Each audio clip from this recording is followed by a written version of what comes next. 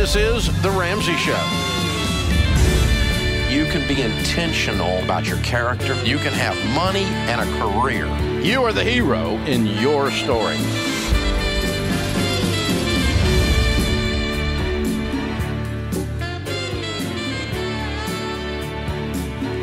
Live from the headquarters of Ramsey Solutions, this is The Ramsey Show, where America hangs out to have a conversation about your life and your money. I am Ramsey personality Rachel Cruz, and for the first time in history, my my co-pilot is Dave Ramsey. About five minutes before the show started, I was like, "What if you let me take the lead just for an hour of the show?" while you're in here because that has not happened yet with a Ramsey personality. Where Dave is in the is in the co-host seat. How you feeling over there? Uh, I'm. I'm. It's kind of like when I was teaching you to drive. Just bracing. I was bracing. teaching. I'm. I'm trying to not touch the brake on the passenger side while you're supposed to be braking at the red light. Yeah. right before we went live, I was like, "And which buttons do I push to get the callers in?" That's real. That's real comforting right there. Oh man! Well, it's going to be a fun hour. So it's a free call anywhere in America at triple eight eight two five five two two five, and we'll start off with Myra in Lubbock, Texas. Myra, welcome to the show. Hello, Rachel. Hello, Dave. I love your show, by the way, Rachel. Oh, thank Um, you. so- yes. Um, quick backstory before my question is I started working part time at a uh, advisor's office, and it, it's been great. The um, person that was full time was off for medical leave, and she got better, and now she's doing part time, and so we're working together and things like that. But prior to that, there was other people helping in the office that were just interns, and so from the beginning, you know, I was having to pick up from where they left off to what they knew, and because she she had to leave um, unexpectedly um, to do her medical leave, and so point is, I just I, I just picked up where everybody left off, and I was doing my best, trying my best, and things like that. But now that she's come back, it's been very difficult because she could be um, very aggressive with her words, and um, she doesn't use that the tone of voice that she uses with me. Um, well, she changes her tone of voice when the financial advisor is not around, and she said things to me in the past like. I'm the full time. Don't touch my things on my desk. Um, and it's just little petty things, you know, like I don't want my lo- your lotion on my desk. Um, don't move my Okay. my paper clips and things like that. And my question is, how do how do I go on if I feel that it's just it takes so much energy because when I'm in the office, I'm always trying to not do something that's going to tick her off or she's going to be passive aggressive again or she's going to be rude to me. Yeah. Did And well, there's occasions when My- we work together Sure. and it's just so draining. Sure, absolutely. So Myra, why did she leave in the first place? What you said medical leave? Yeah, so her cancer came back, and thankfully she was um, she was able to take care of it. And now her doctor is asking her to not be full time so that she can, you know, slowly back into it. Yeah. Um, she is older, and you know, she has like no filter and things like that. Which I am I'm young, and I am not Have you good as I wish I was. Myra, have you have you confronted her at all? Have you sat down um, and confronts? You know, that's kind of a strong word, but have you asked questions to her of, "Hey, do you realize kind of how you're coming off? Is everything okay? How are you doing?" Because because we find here, you know, at Ramsey, we have you know almost 1,200 uh, team members. So working on interpersonal relationship is something I feel like we do on a daily basis, and usually you find that people who are hurting can tend to hurt people, right? That saying, hurt people, hurt people. So there's a part of me thinks that she's there's probably a level of her that's stressed, freaked out, fearful of her own story and kind of what's going on, and it's coming out on you, which is not okay. But have you have you talked to her about it at all?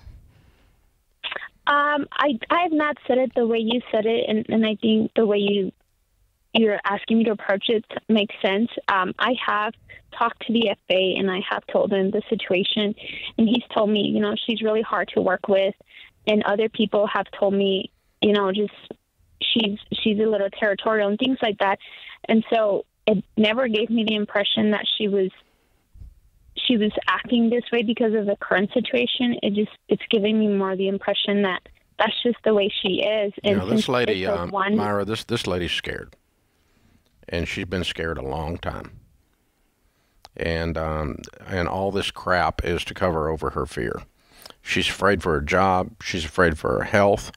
Uh, you're you, she sees you as a threat, and so uh, the good news is you're just a sweet lady and I think if you'll just look at her as someone who's scared, uh, kind of uh, put a little different picture when you see her instead of the big old mean lady that's rough and tough and hard to work with. Instead, look at her as a, a little child who's afraid. And how would you treat someone that was afraid? With, with pity and with kindness, and you, would help them, and you'd, how can I serve you? What can I do for you? And she'll calm down eventually. And if she doesn't, it's just a part time job. Go get another one. It's not worth working with jerks. That's the other thing. So, I mean, leave. It ain't that big a deal. Uh, but uh, you don't, don't, in other words, don't let yourself be subjected to a toxic situation because you don't, because you refuse to walk out the door on a part-time job. So just say, sayonara, out of here, baby, done. But if you want to try to work on the personal idea of it, which is why you call, I think you just treat her with unbelievable levels of kindness and just because I, I'll guarantee you this lady's really afraid. She's afraid for her job. She thinks you're gonna they're gonna kick her out because she was hard to work with before, and then she had a cancer problem, so she's unreliable. And yeah. you know she's afraid they're gonna put her on the street, and you're gonna take her job if you look too good. So, how can I help you? You've been through so much uh, man, I just want to support you. You're kind of a legend around here because she is. legend, maybe, and not the way you want to be a legend, but well, she's kind a, of a legend. It's a true statement, nonetheless. but I wonder too, even after you know how work, how the workplace has changed so much since COVID. Mm-hmm dealing with people now mm-hmm. via technology. There's not that that in-person connection as mu- as much anymore within companies. I mean, obviously, Myra, it sounds like it is for you, but you talk about this a lot in EntreLeadership, though that of how to deal with these situations. That it's not going around, obviously, and talking and bashing her to no, other people. So the fact you went up, Myra, was good right. to your leader. I think was a smart move, but also to have the ability to sit down with someone that you work with, especially if it's a for a long period of time. You guys have history, and it sounds like you guys are pretty hand in hand with what you do. Um, getting that it's it is key because it's exhausting. Like if you go to work and you uh, don't like the person you're with all the time, that's a reason to dread work. So it's a reason I mean, to even I, think about. I would I would give it a couple of weeks of just killing her with kindness, and if that if you can't get anywhere, and if you continue to have just an abusive situation, I would just go leave. Just go get another job. Uh, it's not worth it. Yeah. And um, I mean, you, you talk to leadership, and their answer was a lame, horrible answer from leadership. Well, she's always kind of been that way, which means we're scared of her too. oh my God. You know? So we don't have anybody like that that I answer that about. You know, you, we, you get to work somewhere else if you're going to be a bud around here. Because we, we don't do that. But, um, I mean, you can have a bad day, you can have a bad week, but you don't get to just have the reputation of being hard to work with. The grouch. That's silly. This is The Ramsey Show.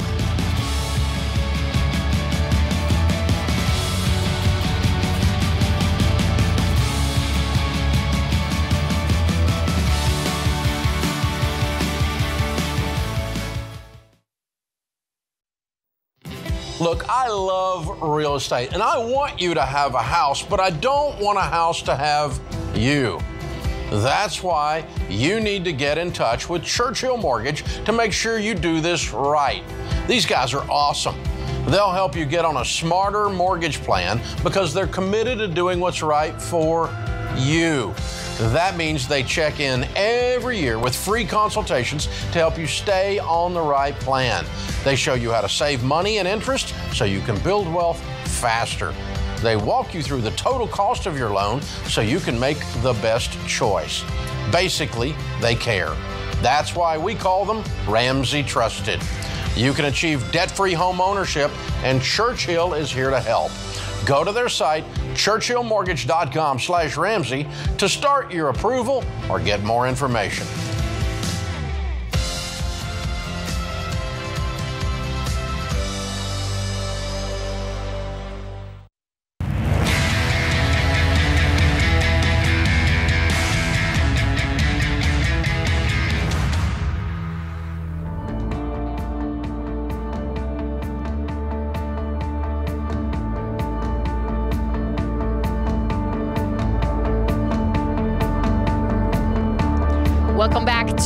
The Ramsey Show. I'm Ramsey personality Rachel Cruz, along with my co host, the man himself, Dave Ramsey.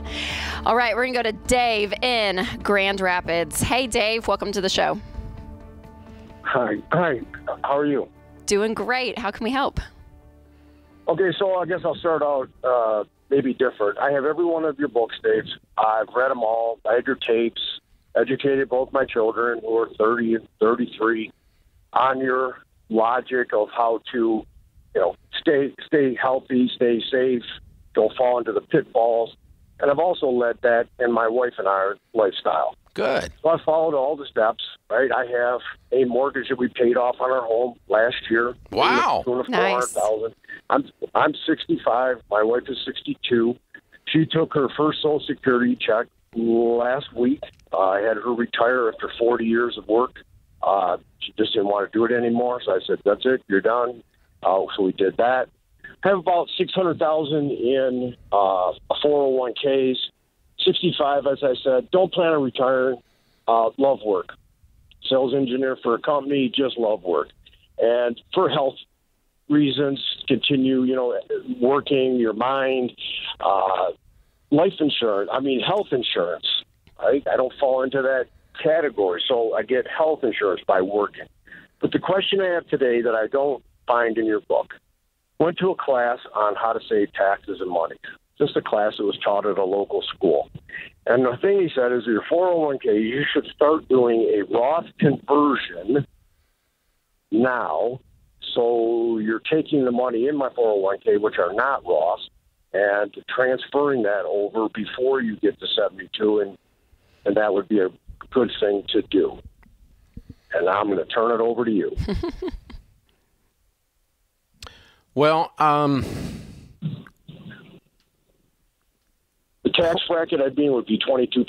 Yeah, probably. Could, and I have room to do that. the, the benefit, money. the benefit of it all being in Roth is if you're going to leave it alone, it's going to continue to grow tax free and you can leave it in there growing tax free where if you don't you've got to begin the required minimum distributions. The RMDs at 72 and a half like like the person told you. Right. that that is correct information. Right. so you're going to have to right. begin drawing down on it if it's in a traditional at 72 and a half whether you want to or not. You're going to pay the taxes on a little portion every year okay because the IRS wants their money. So uh, if instead you have moved it to a Roth by then um, all at once or a little bit at a time over five years or whatever, uh, you've already paid all your taxes at that point, and it will grow tax free from then on. If you're going to turn right around and pull it back out, within a few months or a few years, then that doesn't do any good. If you're probably not really touching the money, um, it'll probably make sense to do that because you probably got another 20 years before the money's ever accessed, really, then, like to 85. Okay? Right. Or 95 or whatever you live to. Right, but, right. Yeah, right. My dad's 90. Yeah. So, uh, but uh, uh, again, so, the faster you're going to use that money up, money. the worse the idea is to move it to a Roth. And I think what I'm hearing you say is you guys are in really good shape and you probably don't need to access this money ever. No, I have no credit card debt. Uh, you know, paid the cars off. You're still working. Yeah. Yeah, still now, working. Yeah. Uh, so, but basically, if we take six hundred and we pay taxes on it, it looks a lot like four hundred. Right. And uh, you know, and so, but it's going to look like that anyway when you pull it out out of a traditional later on. Right. So, you're you're going to get the hit sometime in the next decade. One way or the other. Yeah. I got you. So you might as well put it in there and let it grow tax free because I think you're going to be leaving it alone. It's good because when you start to transfer it, that's you have to have you have to have the ability to have the the cash though to pay those taxes. Well, if you got that, then that's even better. But in his case, he would just use some of, of the money, money, to pay the taxes. Yeah, he would reduce the balance from yeah. 600 down to the you know, he's going to give up 200,000 now or give it up later. The downside is is you don't have the 200,000 that was going to taxes growing from now on. Through it, yes, exactly. For, uh, until you had to pull it out. But you got the required minimum distributions beginning at 72 and a half. Used to be 70 and a half now anyway. So I, I probably I don't think that's a bad suggestion. It's it's a weird suggestion because you don't hear that from the financial community very often. Why? But, but um, I don't because they've been anti-Roth. Don't do a Roth if you're over 55 because it doesn't have time to grow. Oh, okay. And so, um, by and large, and but I'm 61. I'm not touching mine. I moved everything into Roth years ago, and I, I put everything into Roth now, mm-hmm. which is the same thing really. Like our 401k here at the office, I dump all mine into a Roth 401k, yeah. and I pay the taxes and move the match over into Roth at the end of every year. Uh, so and do Roth personally. So um, you know all that. So because I'm never going to touch that money. Yeah. That money will be going to the to the kids. I mean, it's not going to because uh, I, I won't need it. I've got other sources of income. It's good. All right. Up next is Sam from Tampa. Hey, Sam. Welcome to the show. Hey, thank you guys very much for taking my uh, call. Um, so I have a question in regards to uh, whole life insurance uh, insurance. And uh, I've been listening to the show for several years now. I'm a big fan. And uh, Dave, I know your opinion on uh, whole life versus term. Uh, however, um, I recently got married uh, nine months ago, and uh, my wife, uh, she's 27 years old. Uh, her grandparents purchased a whole life insurance policy for her when she was born. So they've been paying on it for 27 years now. And essentially, um, her grandparents are transferring it to me. And so I can either surrender it now and get a basically about $5,000, or I can continue to pay in about $18 a month um, and you know, get the I think it's uh, forty thousand dollars worth of life insurance coverage, and it's a uh, savings type uh, account where it uh, accumulates, and we can surrender at any time. So um, I, I, know I would never buy a whole life uh, insurance policy based on your guidance. I would only get the term. However, in this case, I'm uh, you know getting it. It's being transferred to me, so I'm trying to find out uh, you know what your advice is on this. Yeah, it's a great question, Sam. So I I would actually my husband and I we had kind of a similar situation from other family um, members, kind of thing, and kind of exactly basically the same thing had a policy um, for us as well and we immediately just cashed it out and opened a mutual fund and put that money in there because it's going to grow uh, so much more you're right. to have the, the, growth is going to be insane especially since you guys are so young um, in something like a mutual fund versus sitting in that whole life account and then you guys just go get term insurance um, for you and your wife. And so you're keeping your investments and your savings separate from your insurance. But I would, um, I would circle back. Are her are her grandparents still living? Her grandparents are still living, okay. and uh, I just haven't gotten a chance to talk to the financial advisor to yeah. get the details on it. no, quick, don't, uh, don't, you, don't, you don't need to have a discussion yeah, with a financial. But I, it's not a financial advisor. It's a re, it's an insurance agent. But I would. Financial advisors don't sell this crap.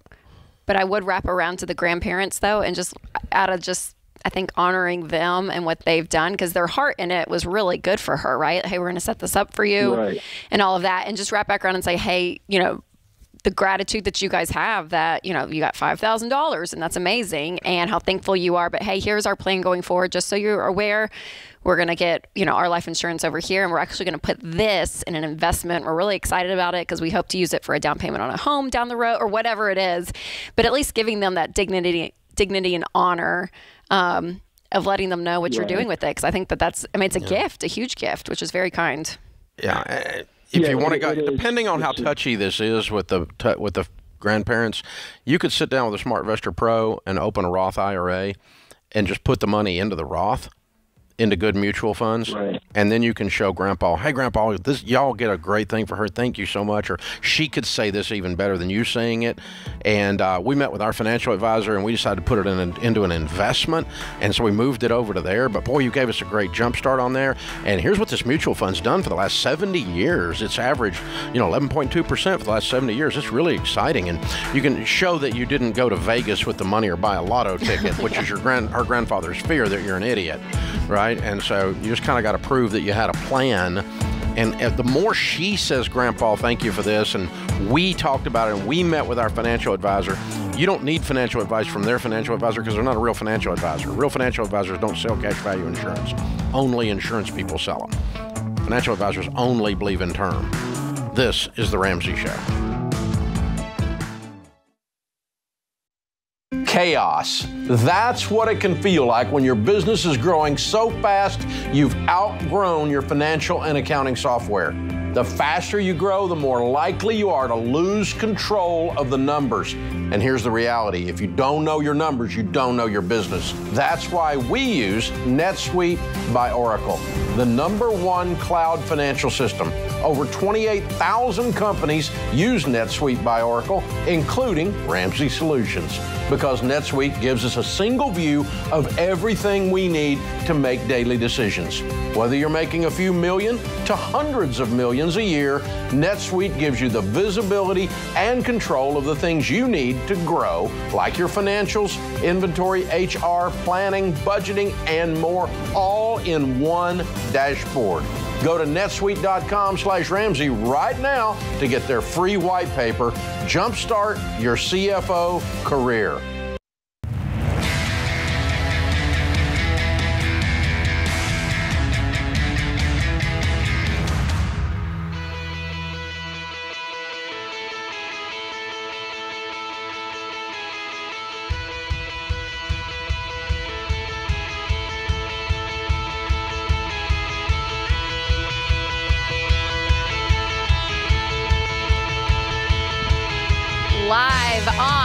The debt free stage here at the headquarters of Ramsey Solutions is Ryan and Michaela. Hey, you guys, welcome in. Hey, guys. Hey, how's it going?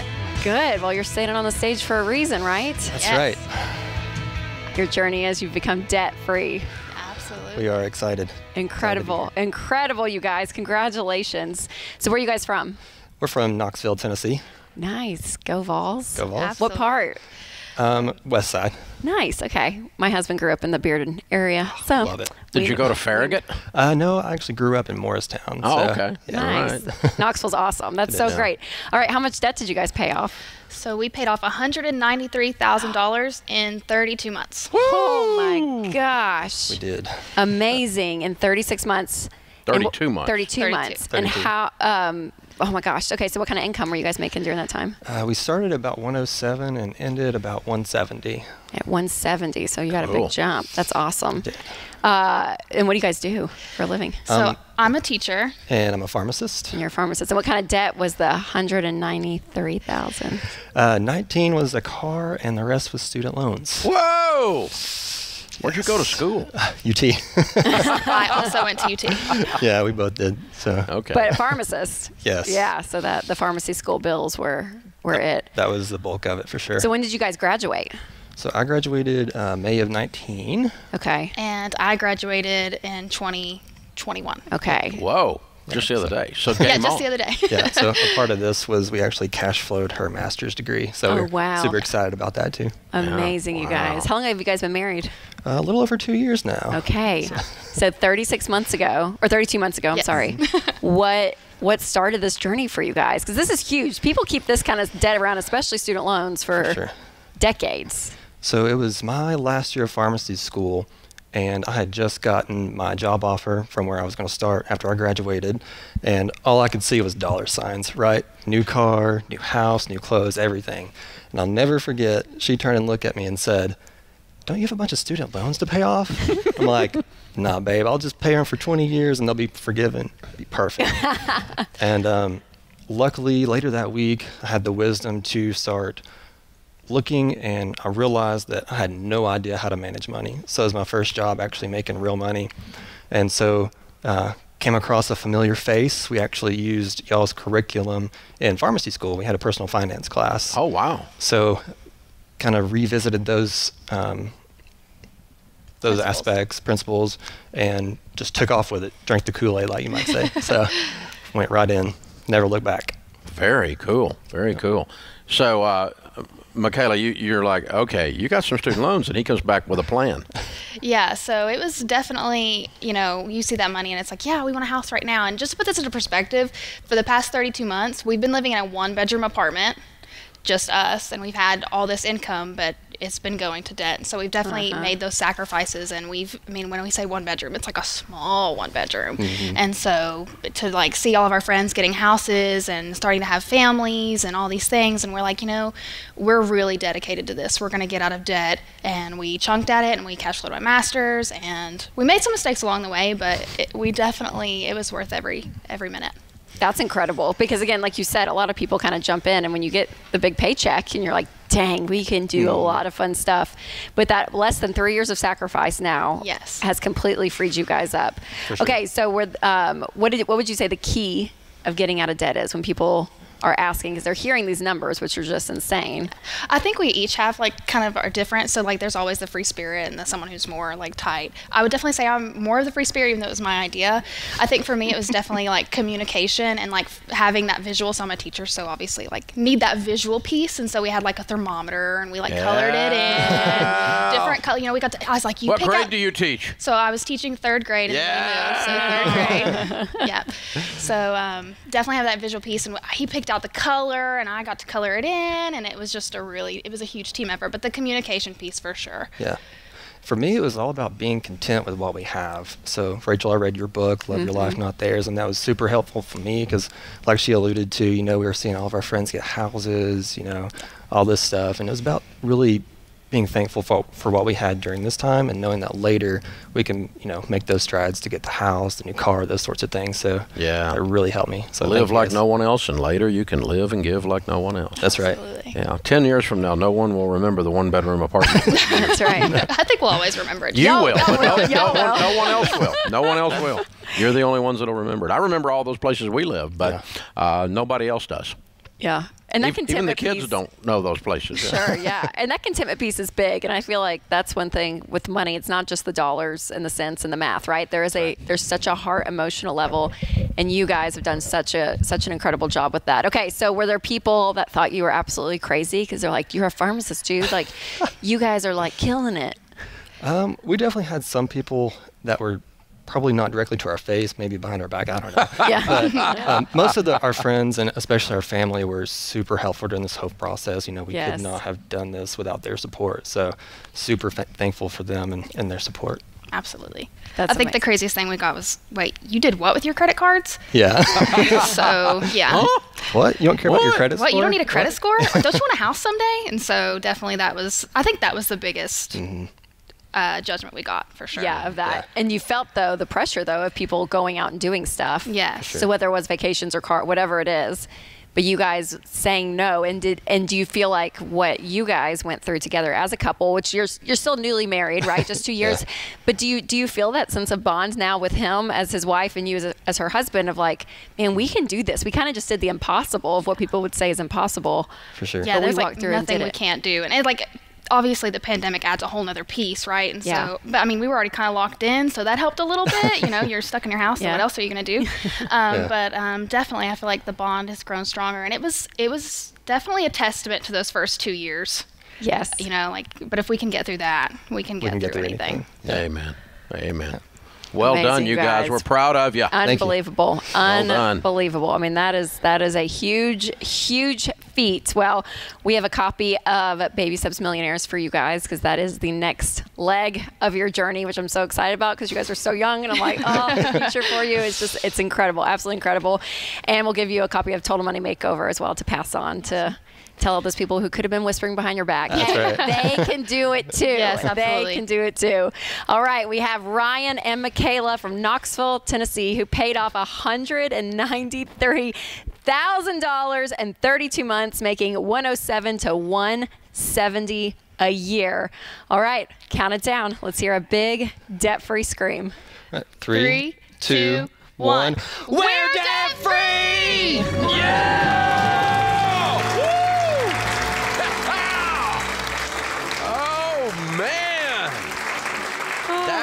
A mountain to climb. $193,000 in student loan. First order of business out of school. Boom. It's amazing.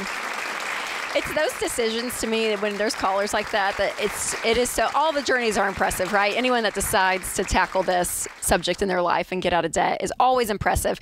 But when you have younger people, I don't know, maybe it's like a kindred spirit, a Knoxville sharing of our life. I don't know what it is, but I'm like when I see younger people and there's a level of maturity there to say and you say it all the time a definition of maturity is learning to delay pleasure and just to say okay I'm, we're getting these checks we're making this income and we're choosing to stay in the one bedroom apartment. We're choosing to be uncomfortable. We're choosing to do this for such a short period of time. That sacrifice, right, is such a short period of time for such long term gain. And we make a amazing. couple hundred thousand dollars a year in about the next 20 minutes, and they got no payments in the world. Do whatever they want. That's a pretty cool place to be. I mean, you get to like keep your money and stuff. Have it's, your uh, income uh, and use it. Your yeah. most powerful wealth building tool is your income. And when you get to keep it, you'll become wealthy. Hello. And the stress of money in marriage is now lowered, no payments, and they are on the same team. Absolutely incredible. Absolutely incredible. This is The Ramsey Show.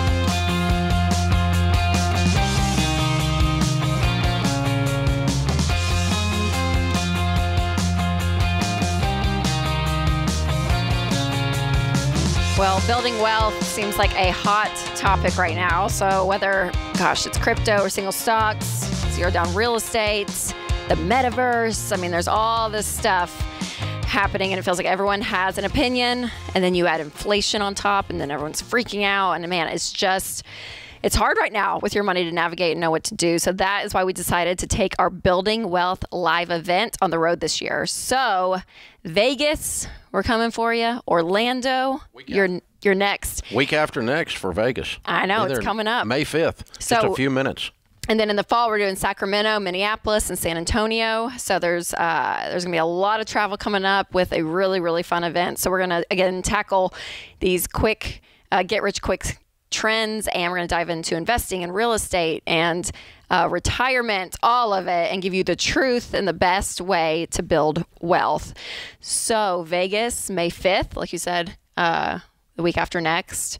We'll be in Orlando May 19th. And then for the fall, Sacramento, November 1st, Minneapolis, November 10th, and San Antonio, November 15th. And tickets are just $25, or you can get a four pack for only $60. And bring your friends. It's going to be a fun night. Our events are so fun. We, we enjoy ourselves on stage as speakers. We have fun, the audience has fun, and you get to learn and hopefully change your family tree. So go to ramseysolutions.com slash events to get your tickets before they're gone. Again, ramseysolutions.com slash events to get your tickets, and hopefully we will see you there. Yeah, we'll have five of our Ramsey personalities there Rachel Cruz, George Campbell, me, uh, Ken Coleman, and Dr. John Delony will all be there. We'll all be signing books, and we'll all be doing uh, roundtable discussion as well as speaking and teaching. It's going to be a lot of fun. Uh, it is a fun event. It's a little bit of a different one. We did one in January, and you do a lot of the keynote at the beginning. So mm-hmm. Dave does a lot of the teaching, and then at the end we we sit around a table and, and have these discussions because again, whether it's inflation, student loans, uh, crypto, I mean, there's just so many Mental elements wellness, of money right great now. Resignation, yep, all of it. So yeah. much is going on. So we just sit and have a conversation, and it's it's fun. So come check it out if you're in any of those cities. Again, uh, we have Vegas and Orlando this spring. RamseySolutions.com slash events. Blinds.com. Uh, Blinds.com's 100% satisfaction guarantee means that if you mismeasure or pick the wrong color, they'll remake your blinds for free. You get free samples, free shipping, and with the new promo codes they run every month, you'll save even more. Use promo code RAMSEY to get the best deal. Today's question comes from Ethan in Delaware. My wife and I are in baby step three. We've agreed that we would have my mother-in-law come live with us for her in her older years, but rather than put her rather than put her in a home. However, with a nudge from us, she has just barely started contributing $40 a month to a 401k. She's 55 years old and earns about 15 to $20 an hour. We're happy to help contribute to a mutual fund to help her now. However, she does not seem to feel the same urgency we do. How do we get her to see the importance of retirement planning?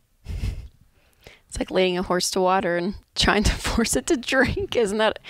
I mean, it it is difficult because in one sense, I don't know. I'd love your opinion on this, um, Dave. But you know, I feel like generations ago, the idea of having uh, I was actually reading this in Dr. John Delony's book um, today. Actually, I was reading it about the past generation. You know, the older generation would move back in with the younger, not because of, I don't think, the lack of financial support that they needed, but just of having a multi generational home. And that's how society was. I mean, hundreds of years ago, right? And so today we've obviously evolved and, and it is so different. So there is a, an element of this beauty of having her come back with you guys um, and live in the home. I mean, I think there's an element of that that's so wonderful, but not because she can't financially support herself, right? So there's, there's that weird balance of the is it enabling? Is it honoring? Right? Like that. That's such a hard line for me sometimes. Yeah.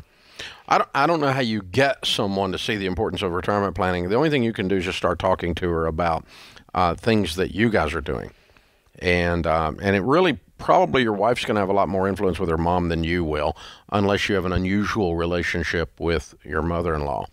Um, in, in, my case, um, you know, you know, we've been married, Sharon and I've been married almost 40 years, so her dad's as apt to listen to me now as he would be to listen to her.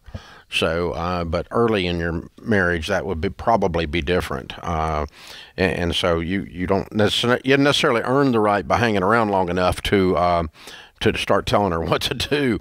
But, you know, I think the thing you could do is just say, hey, listen, I read this book and it changed everything for me uh, it'd be really cool. Why don't you read it, or I'll get you the audio book and maybe maybe get her the audio book and the Total Money Makeover book and give it to her, or something like that. Just something to get her spurred along and get her concerned about. And the other thing is, she probably is living hand to mouth at fifteen to twenty dollars an hour because she's not on a budget. She's got a tight budget with a lower income. And so if you can get her on a budget and she can start to see that she, if she was careful, she could put some money aside, mm-hmm. then maybe that hope would kick in because she may feel overwhelmed uh, and not really know what to do next. And yeah. if you can give her, kind of give her a foothold on the first step on the path, then, um, you know, maybe she can start to see the light a little bit. Yeah, I feel like that's true with money in general. We, we get the question a lot of, hey, how do I convince my brother in law or my, mm-hmm. you know what I mm-hmm. mean, or my friend? And you get this a lot. And really, whether it's logic by showing literal dollars on a sheet of paper and showing a plan that can kind of get them moving, or bringing in that third party. And I feel like we end up being that third party for a lot of people of, hey, listen to this podcast, or, you know, here's a great book. Or the third option, too, is just your own uh, testimony, like your own experience of what you've done and yeah, how and, you have felt lighter. And giving a get out of debt book away is like like giving a weight loss book away. It's kind of can be shaming. You got to be real careful on yeah, how you true. do it. and so you're like, uh, hey, you're stupid. You need to read this. That doesn't work. Okay. So in, instead you go, hey, I read this and I'm giving it to everybody because it changed my life you know, and it's like, because I was so stupid in this area, and you just own your stuff, kind of, yeah, yeah. and then you just like, I'm, I'm just, you know, and so if somebody gives me a nutrition book that way, I, I, you know, it stands, it st- sits on the desk for a day longer than in going straight in the trash, right? Totally. But, well, the but if they just give it to yeah. me and go, "You're kind of looking fat, Ramsey," you know, then that's probably not going to work for me. And not a great motivator for you. That's good. that's good. All right, we're going to go to the to the phones now, and Alex from Detroit is up next. Hey, Alex, welcome to the show. Thanks for having me. Absolutely. How can we help? Uh, so I've got a side hustle um, part time business moonlighting for the past few years and uh, just recently had an opportunity come about where someone may be interested in purchasing it. Um, I'm just trying to figure out how to value the business. What do you do? Uh, very difficult. Very difficult because you're a one man yeah. show, right? Yes. How much have you make on the side hustle? Uh, revenue or net? Either one. Uh, 40 revenue. And net? 23 and a half. Okay. So you have a part-time job that pays you 23 and a half and you own your job. Yeah, we're doubling every year. Yeah. Okay. There's no, no shame in it, but that's really what's going on. Because if you don't show up, nothing is made.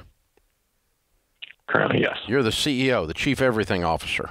What do you? What is it, Alex? What kind of what kind of side hustle is it? Uh, manufacturing. Okay. What does that mean? Uh, we make cosmetics. Okay. Cool. So what is it that uh, has value in the business? What what, the, what is it that's attracting this buyer? Okay. Um, we've got uh, numerous. We've got uh, 20 or so clients uh, that that purchase products from us. We're mostly wholesale. Mm-hmm. So. Um, having the access to those clients, but also the uh, the formulary know-how. Mm-hmm. Uh, well, if I if I owned the business and I had to pay you to do what you do, what would I have to pay you? Um, that's a great question in this current market. Um, part time. Yeah, part time, maybe fifteen. Okay, maybe. so then the difference in that is the actual net profit after I pay you, and that times five or times four is the is what the business is worth. So let's call it ten thousand dollars net, and say that the business is worth somewhere around fifty thousand bucks, unless you have a recipe in those cosmetics that is more valuable than the actual yes, cash flow so far. That's it. Well, fun hosting with you. You too. You're a great co-host, Dave. I'm trying. this is the Ramsey Show.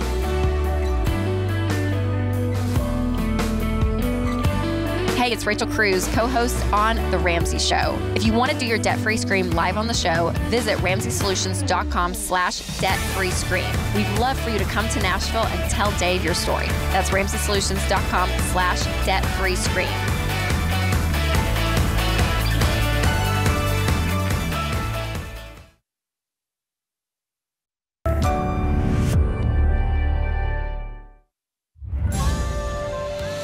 This is The Ramsey Show.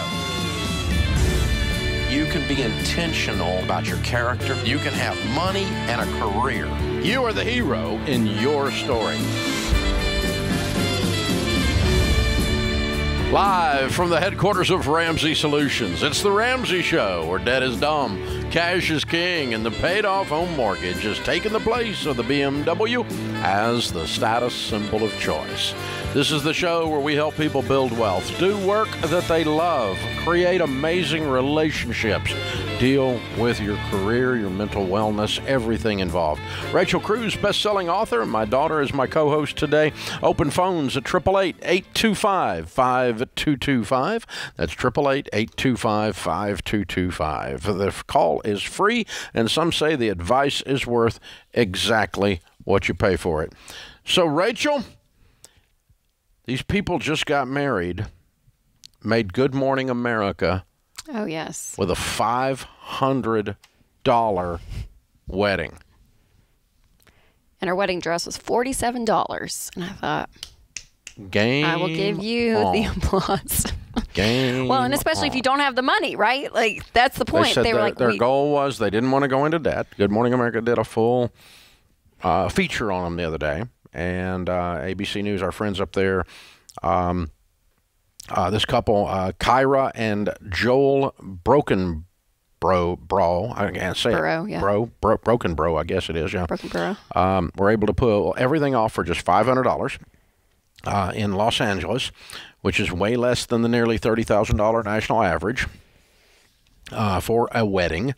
And um, their goal was just to be as minimal as possible, Kyra said, uh, and to spend the least amount of money possible. The bride and groom said they were able to do that by putting a heavy focus on not going into debt while starting their marriage. Way to go, guys. You're our kind of people.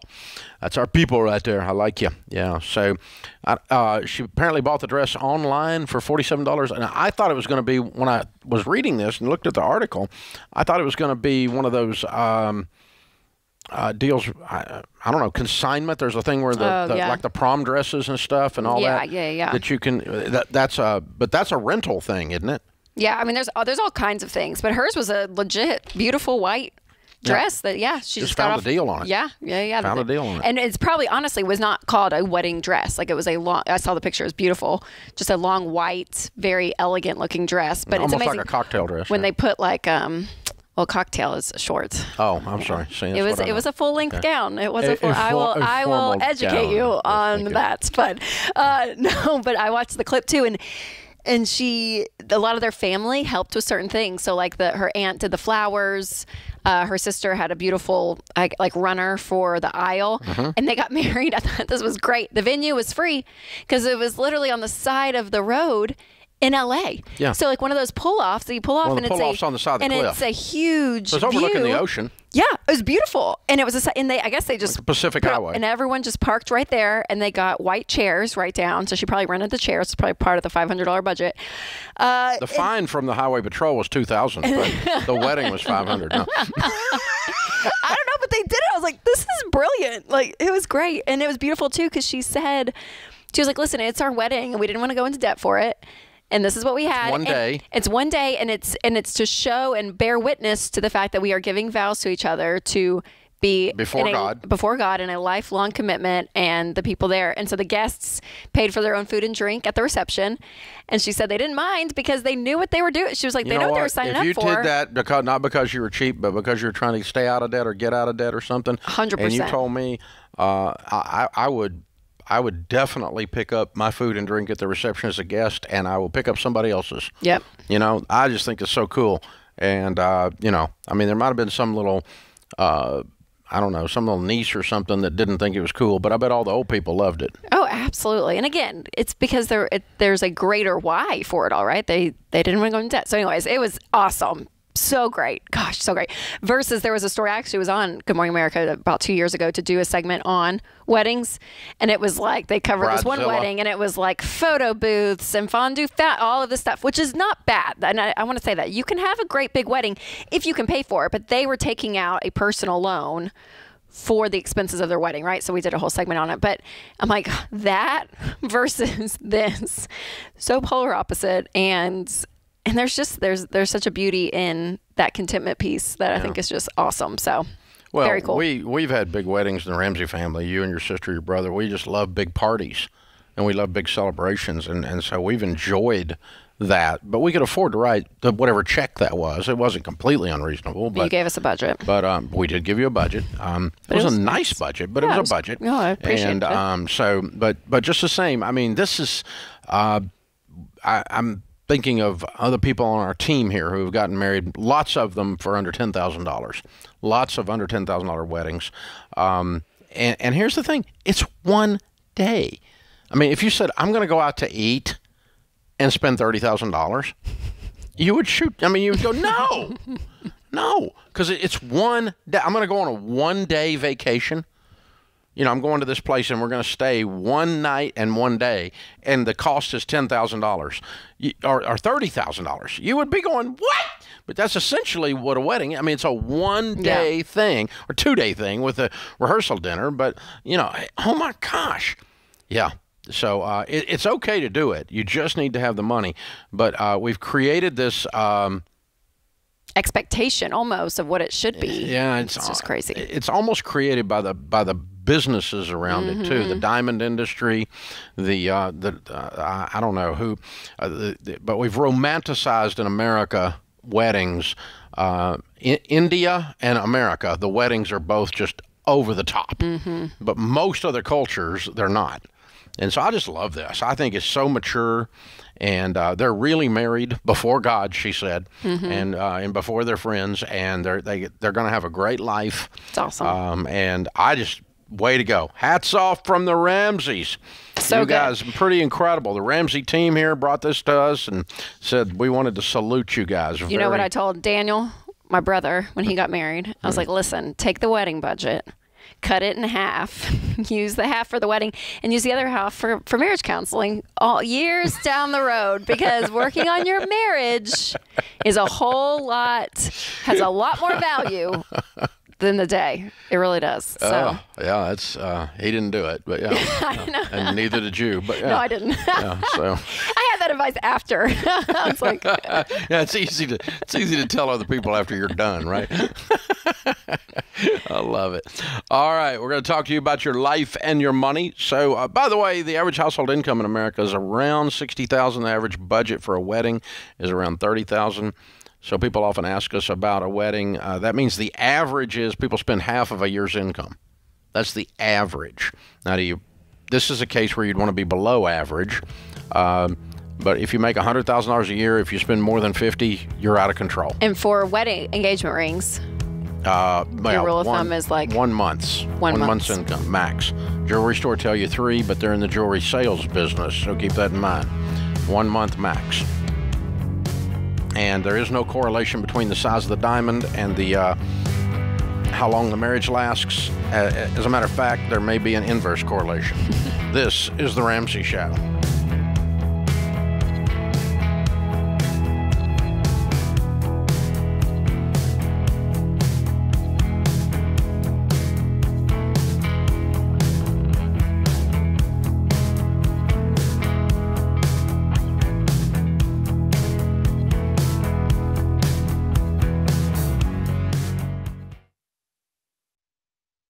If you're considering a career in technology, I recommend Bethel Tech, and I'm not alone. Here's what Brendan said. Before Bethel Tech, I was driving Uber. Within four months of graduating, I got a job paying $60,000. About two years after that, I got a remote job that pays me $130,000, all thanks to what I learned at Bethel Tech you could be next. Get started today at betheltech.net and get $1,000 to $2,500 off of your tuition. Again, it's betheltech.net slash Ken Coleman.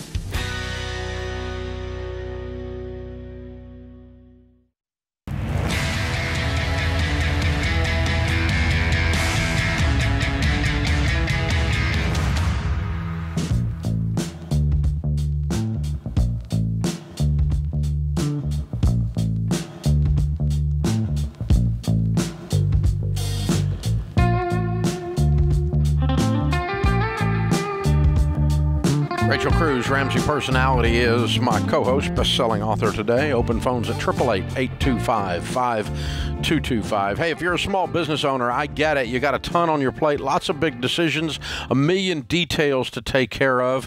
Uh, so make sure you protect what you've built. Commercial insurance will protect your business from the financial fallout from accidents, lawsuits, vandals, and natural disasters. And you don't have to spend a bunch of time finding a good commercial insurance. Uh, finding good commercial insurance that you can actually afford because you can work with one of the Ramsey trusted independent agents. These are the same folks that'll help you shop your car insurance, your homeowner's insurance, get the best deal. They're endorsed local providers. They're independent agents who shop a bazillion companies to get you the best deal. So protect your business, protect your car, protect your homeowners. Get the best deal by shopping around, and they'll do it for you. Go to RamseySolutions.com slash commercial, and you can connect with one of our Ramsey trusted agents.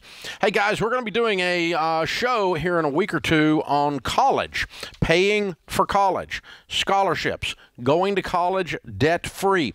If you're a parent or a teen and you have a question about that, or even a comment or a story about that, uh, we'd like to put you on the air during that show. It's a theme hour, and you need to get in touch with Kelly so we can arrange for you to be on the show with your question or your comment or your story. RamseySolutions.com slash ask.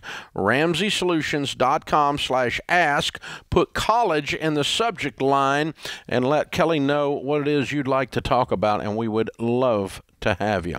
Thanks.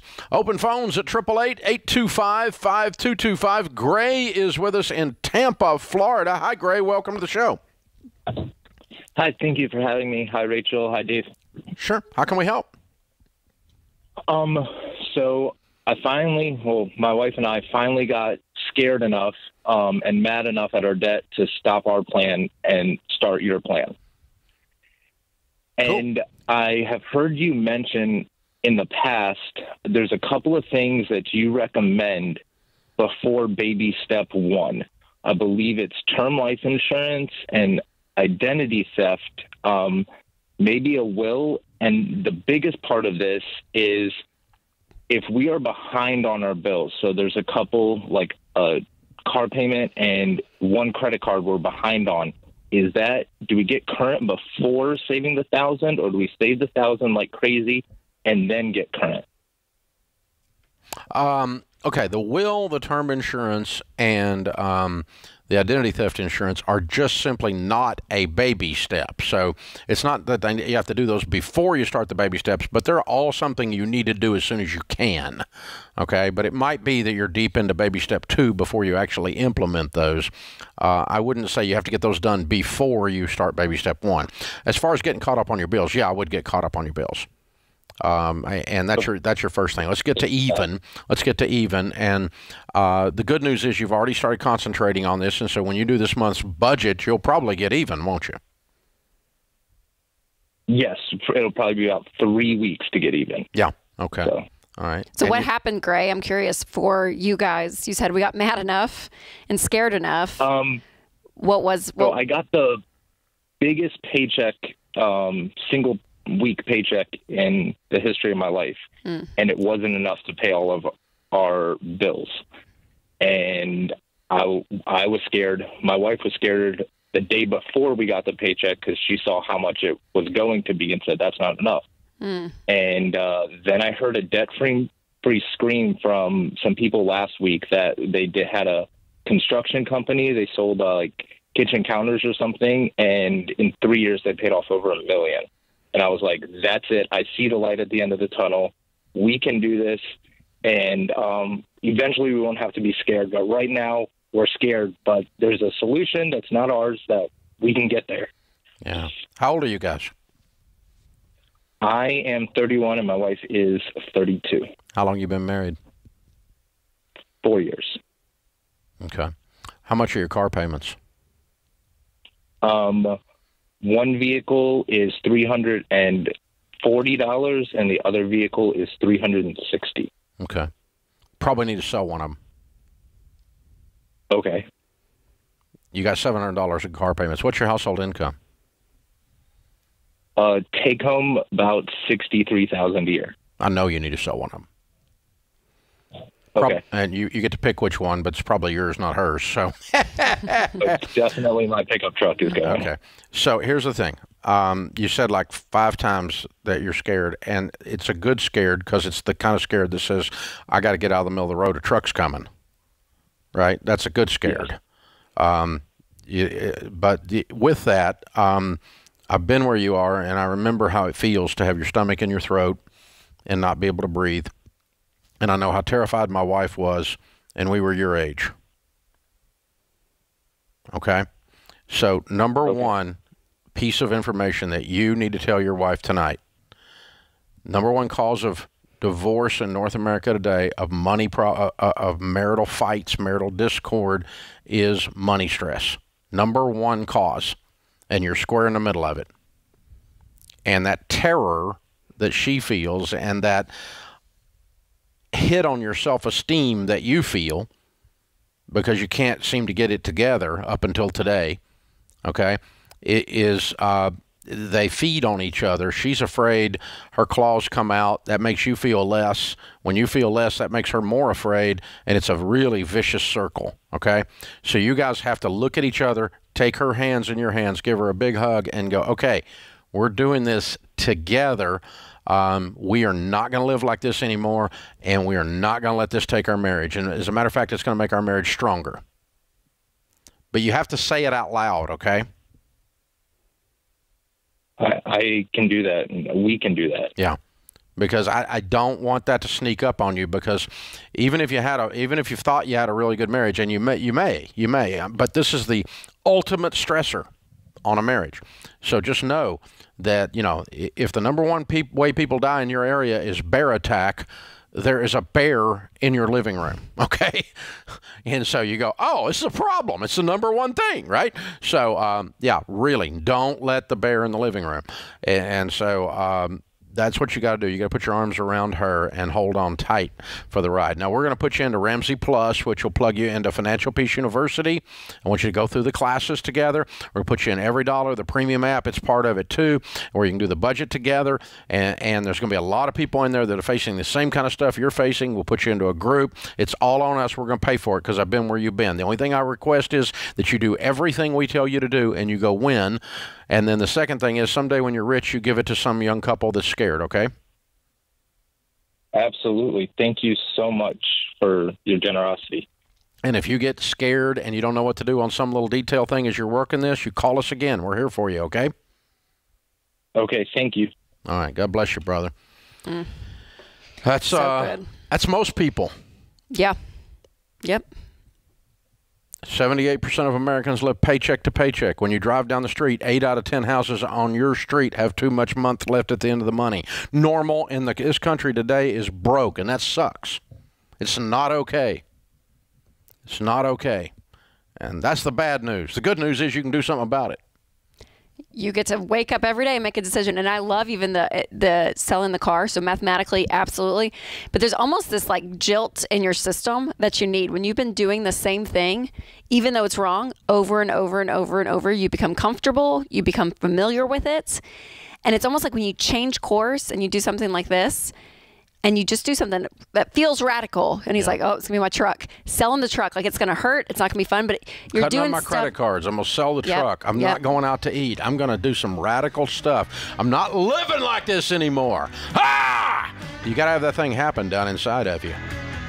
When you do, you'll be ready, baby, and we're here to help. We can show you how. But um, you can you can wander into debt, but you can't wander out. It's not an intellectual exercise. You got to get so pissed off you can't breathe. I'm getting out, and that's right where he is. He's scared and he's mad, and oh, that's a really good place to be. This is the Ramsey Show.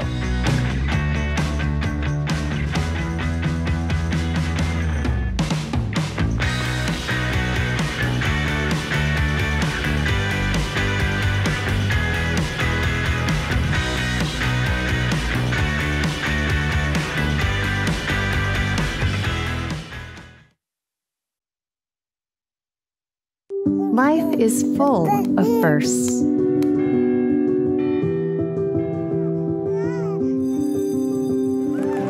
As the first and longest serving Christian health cost sharing ministry, CHM has shared medical expenses for its members since 1981. We believe you should have the freedom to focus on your health while being supported by a community of believers, giving you the opportunity to create many more firsts.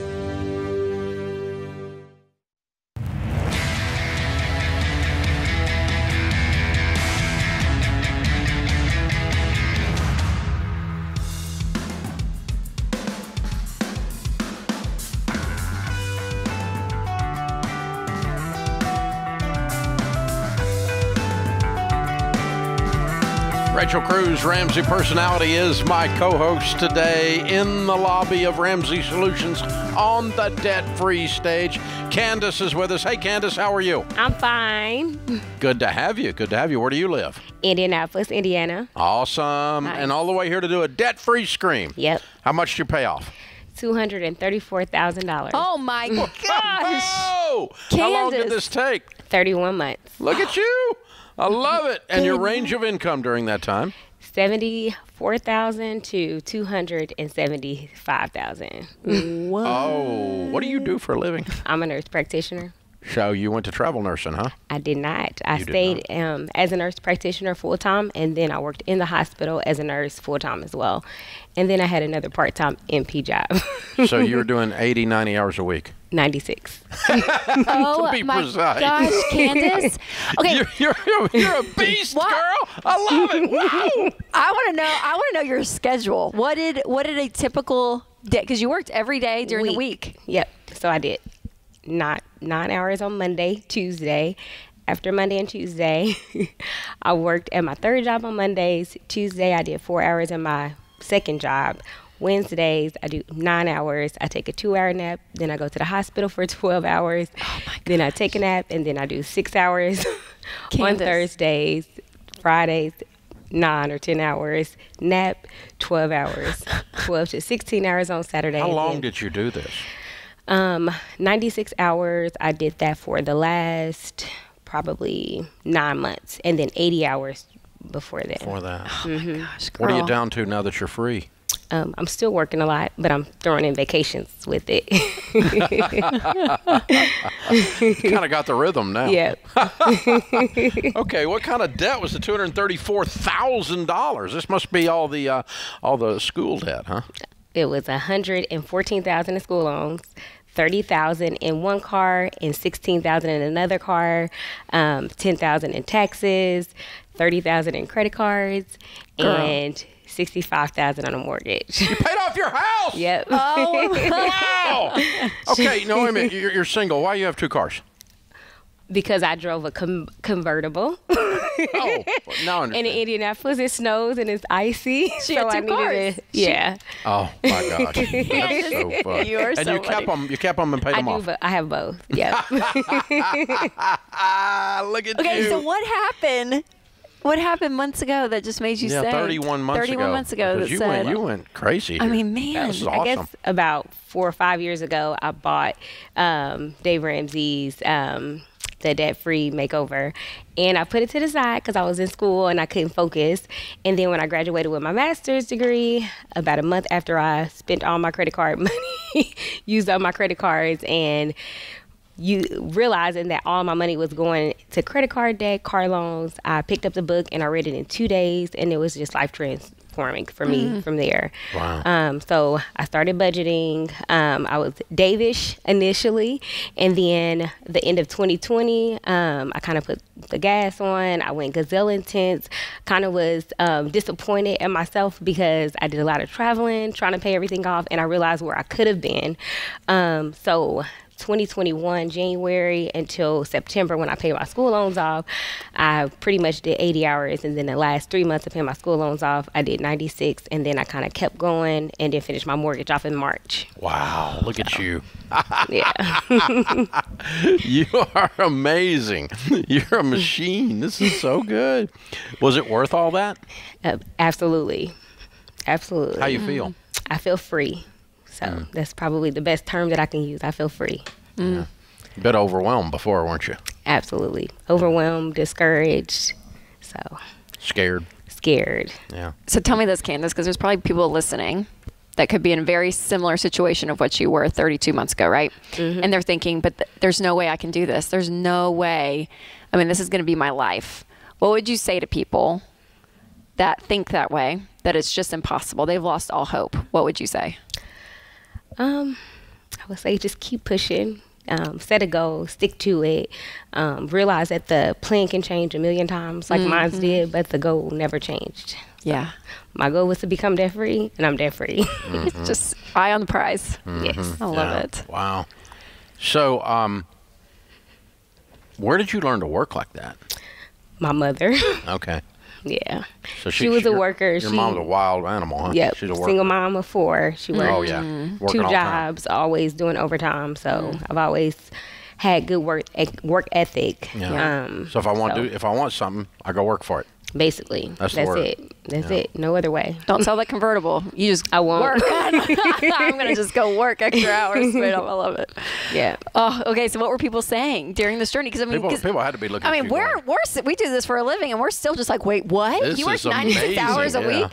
Uh, yeah. What was everyone saying? A lot of people were inspired. A lot of Yeah. people that I work with, because of course I spent a lot of time with them Mm. and my friends, of course. Um, I didn't really share my journey with everybody until I got down to my last three months of paying my school loans off, and my friends were talking about it to people, so they were inspired. They're like, "You should share it." So I started posting, and then I did the rings, um, paying the last fifty thousand of my school loans. So a lot of people were in tune with that. So it was really, really inspiring um, for me and for them. So it was really, really nice. They were definitely inspired. Hmm. A lot of people were discouraged because they're like, "Oh, I don't make that much." Well, you don't have two hundred and thirty-four thousand dollars in debt either. and so you don't work 96 hours a week either. Exactly. So there you go. So, uh, So, uh, wow, what do you tell people the key to getting out of debt is? just being consistent, um, always knowing that you have to sacrifice, um, learning the um, aspect of delayed gratification. Mm. You know, everything we want, we usually want it now, and knowing that it sometimes it just takes time. You know, mm. even with you know wanting a new car, you know, yep. save up the money, yep. wait, and then, you know, you can get your car or whatever it is that you want. Just delayed gratification and getting away from instant gratification was probably the biggest key for me. Mm. How old are you? 31. Your mama's got to be looking at you with tears running down her face and She's proud. watching. and really, really proud. Yes. Yeah, I'm proud of you. Thank you. Well done. It's pretty incredible. You're an incredible young woman. Mm-hmm. Uh, and folks, you don't have to work like this your whole life. She just did it for a short period of time. Yep. To hit a goal, and uh, but she knows she can, and you really can't work like that for five years in a row. You can't. Uh, your body can't stand it, your emotions can't stand it. But for a short period of time, you can turn it on. Yep. And really, for just under a year, you've been going like a maniac. Yep. Mm. And uh, and now you're free Free. completely free. I figured you went uh, the w- way the numbers jumped. I figured you went travel nursing. That's why I jumped on that. But instead, you just took I a just- bazillion hours. Picked up another full time job. Yeah, and there's two full time jobs and then a part time job. Yeah, and it's all around nursing. Yep. And uh, always a need, isn't there, for Absolutely. nurses? Always a shortage. Yeah, great career path. So proud of you. Wow, you're amazing. Congratulations. Congratulations. Absolutely amazing. Absolutely. We got a copy of Baby Steps Millionaires for you. That is the next chapter in your story for sure, without a doubt. How ordinary people built extraordinary wealth and how you can too. The daughter of a single mom raising four kids learned how to work by watching her mama. Yep. Her mama, as you say, Rachel, more is caught than taught. Yep. She saw and, it. Uh, yeah, and, and, and here knew she, she, could and, and had the And here she comes confidence. I mean, goes, there's a confidence that you have that you're like, I can do this. I can do this. She's and a- even and you did. afterwards, more She's a confidence. victor. She's Yes, not a victim. yes, Yeah, that's right. Not a victim. She's a victor. It's amazing. Pretty incredible. Pretty incredible. Beautiful stuff. You just changed a- your life. Yes. Copy a total money makeover for you to give away to somebody, and uh, maybe you can get them started and stir up a ruckus like you did. I have. You are you are something else. You are something else. You are amazing. All right, Candace from Indianapolis, two hundred and thirty-four thousand dollars paid off in thirty-one months. She did it in two and a half years, ninety-six hours a week for the last nine months. House and everything, and she's thirty-one years old, two cars, single, hundred percent debt-free. Wow! Count it down. Let's hear a debt-free scream. One, two, three. I'm debt free. Love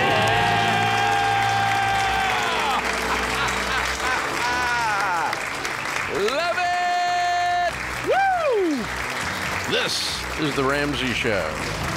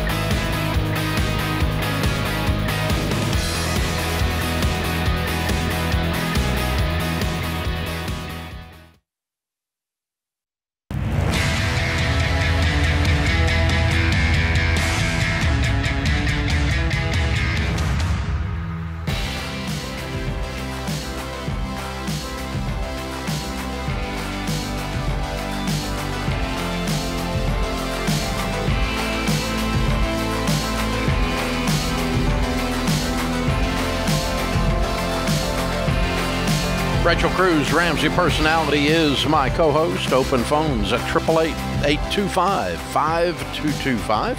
Thank you for joining us, America. We're so glad you're here.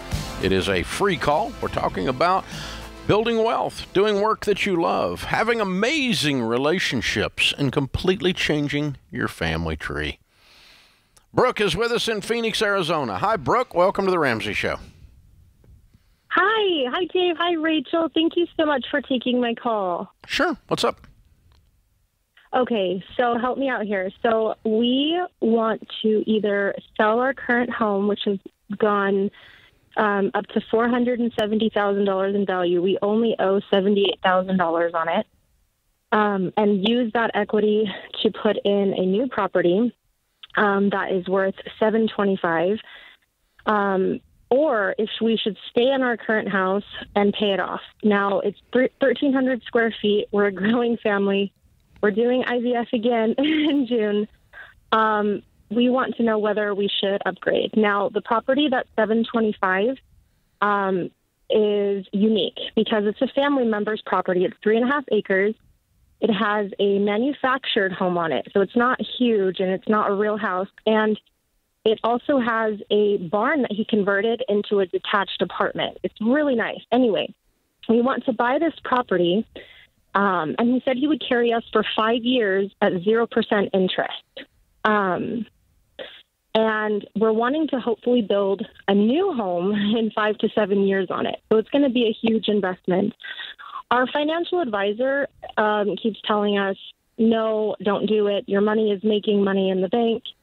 Um, wait until your house is paid off and then use our current residence as a rental for the future and for our retirement plan.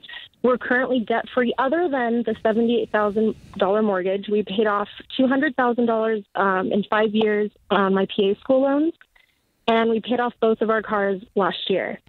Um, we are self employed, so it was difficult to get a loan. We did hear back that we could get a loan at 7%. So um, that was really high.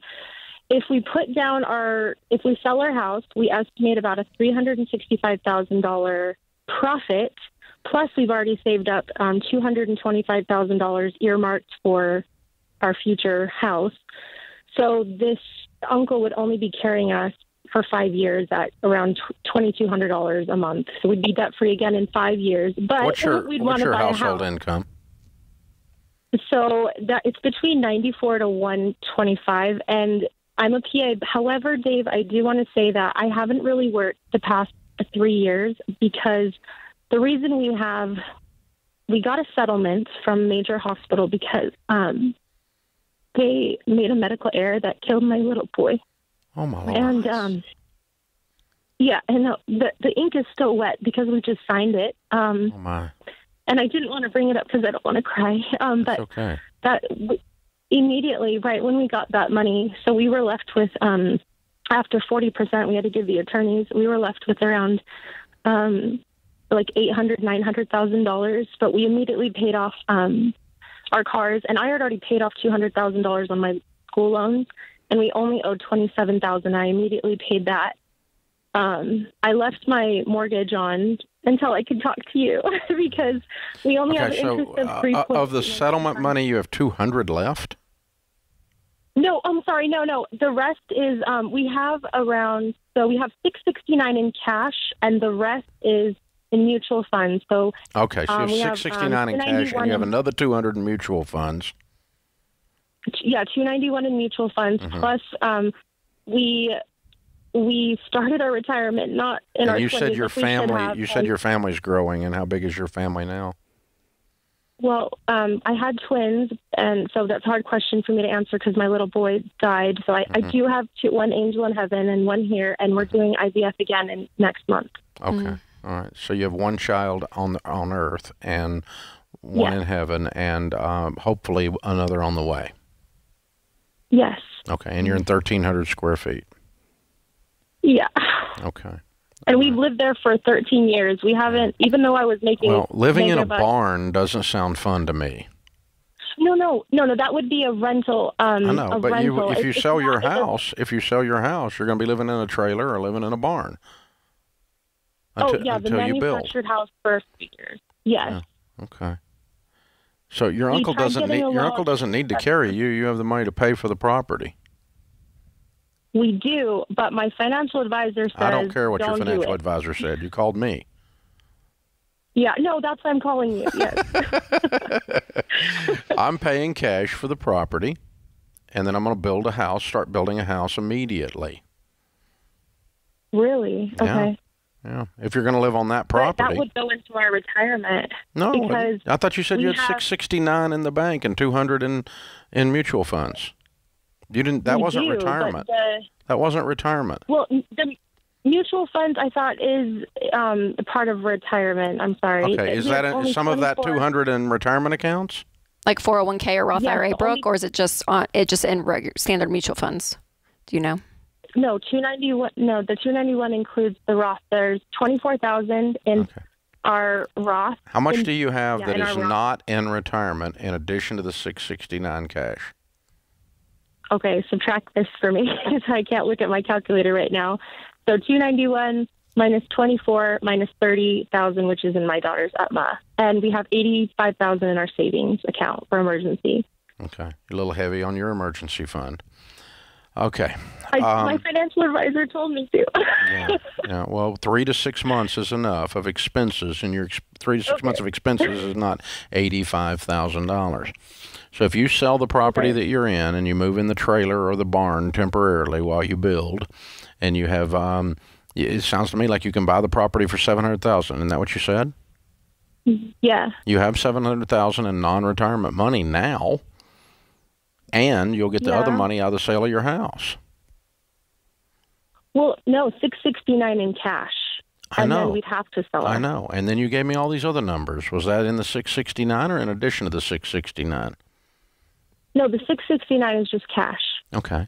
And then you've got eighty five. And then you've got other money. Right. And then you've got other money that's not right. the five twenty nine and not the four oh one K yeah. When you add those numbers together, you're well north of 700,000 and you have the equity in your house it's around 400k. So you're saying we'll have enough I'm for, saying to pay cash for the property and then build you a, a house on the property for three or four hundred thousand dollars. You may end up with a small mortgage in that process. Okay. Only on the build. Even though though. The, the interest rates would be high. I don't want to be owing my out. uncle anything. Right. Well, don't, we'd pay him off in. Oh, I don't care. Okay. Don't borrow money from relatives. Okay. The borrower's slave We're to the lender. Borrowing. We're just uh, yeah, you are. Free. Yeah, you are. Oh. You okay, don't pay. Yeah, you don't pay him. He's going to foreclose. Yeah. That's borrowed money, kiddo. Yeah. You're stepping no, up right. into a noose. You're stepping up into a problem, and you're getting ready to change your relationship with your uncle. I'm not sure this house is the best house. I'm not sure this property is the best property. I think you're only looking at it because he brought it to you and set it on your doorstep, and the zero interest point. sounded good. I think you might ought to just go get you a nice house. I was move, going to ask move Brooke- up in house and sell your house and Yeah. pay cash for it. Yeah. I think that's actually what I'd do. I don't think I'd screw with this deal. I think I'd let him keep it.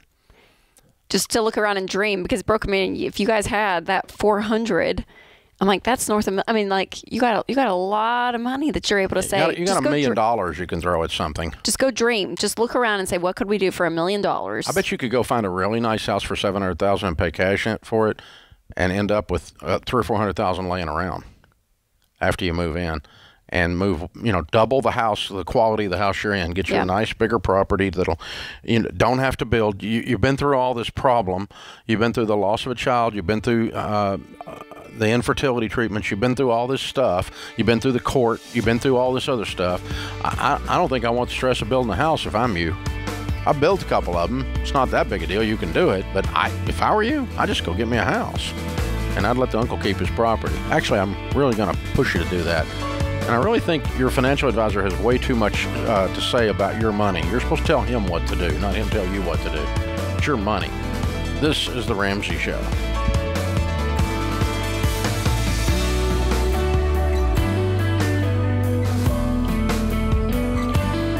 Dave here. You can find all of our shows with the Ramsey Network app on your smartphone. It's the only place to listen to the entire back catalog of episodes. Download the Ramsey Network app in your favorite app store today.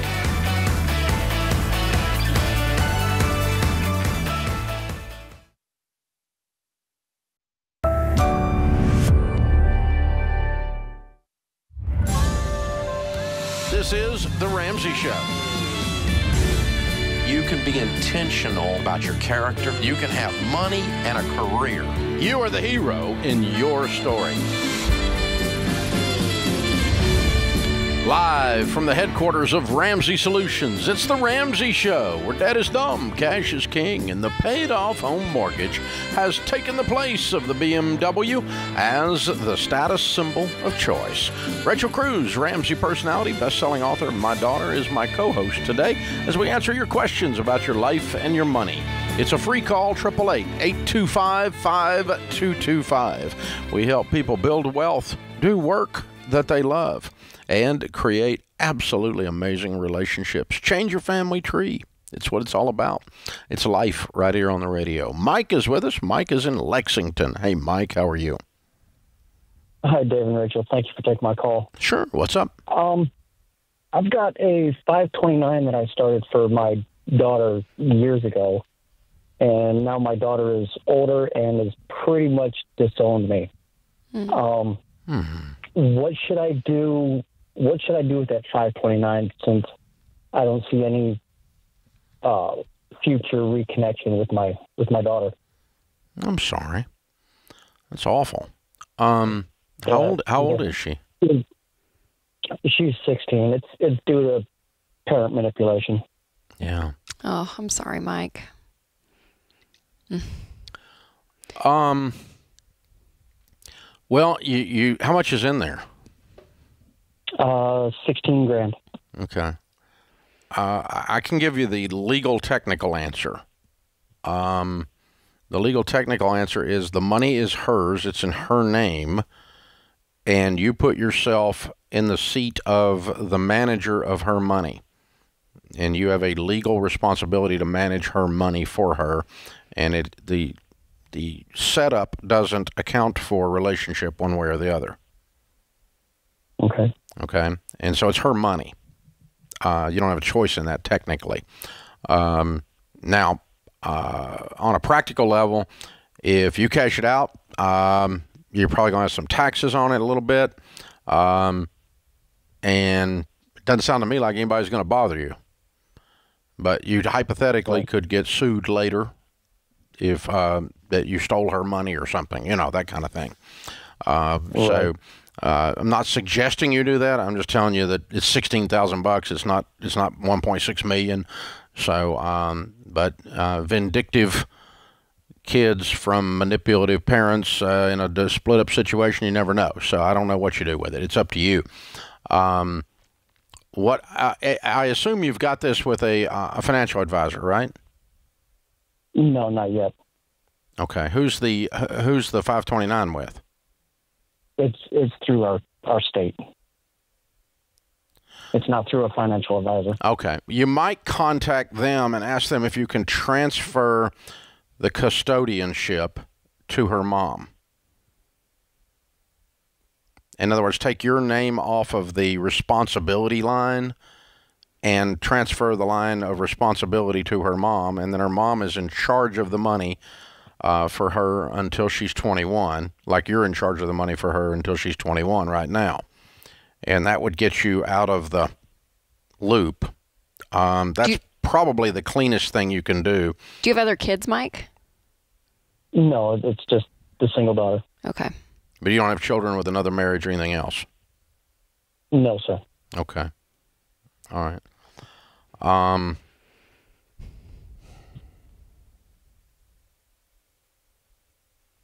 yeah, I mean, I am just trying. I'm trying. I, reason... I, I, I, can't get past the, the the knot I have in my throat from just the whole idea of this. But um, but but aside from that, the practical thing is uh, if you get it out of your otherwise you are are bound to, res, to you know to manage this for her for her education and um, I guess she has to come to you for that then if you want to leave it there as bait um, you can right well even if even if I were to remove that money um, through my disability with the military, she's still, you know, I'd still cover her for a portion of, of the tuition for any. You any still can. You still can. But you're not required to. Okay. The military benefit doesn't require it, and she can't access it without going through you, the military benefit or the 529. So, how, how long have y'all been split up, you and the ex?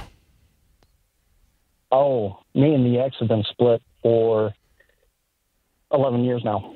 Okay. And how, how long has your daughter made the decision that she doesn't want to contact with you? About a year. Okay. Um, can I change hats? Sure. I'm just going to be dad. Um, I, I wouldn't do anything.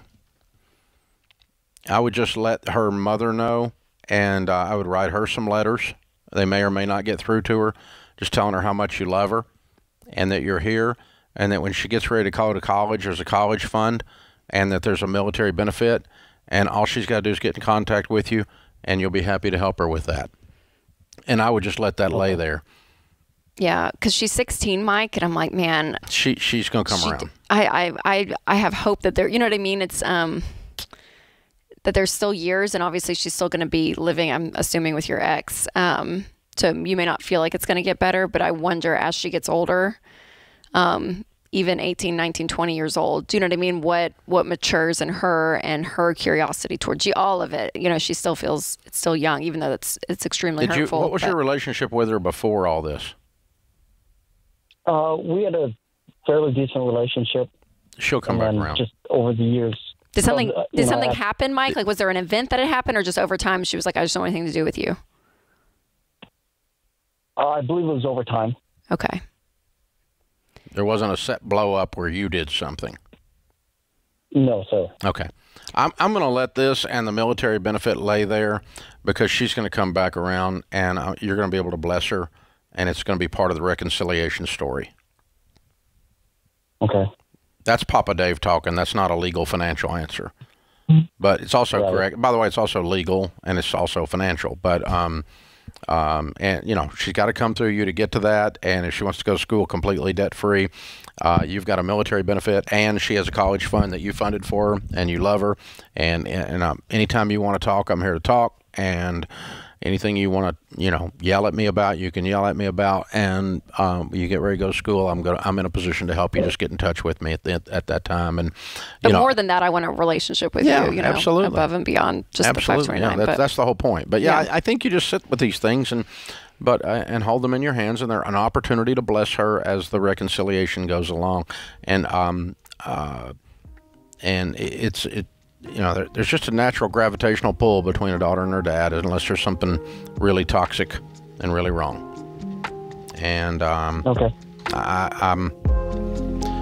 I've watched it with friends over the years uh, where there's a temporary shutdown that felt like it was permanent, and they come back around and they really do have a way of figuring out the truth.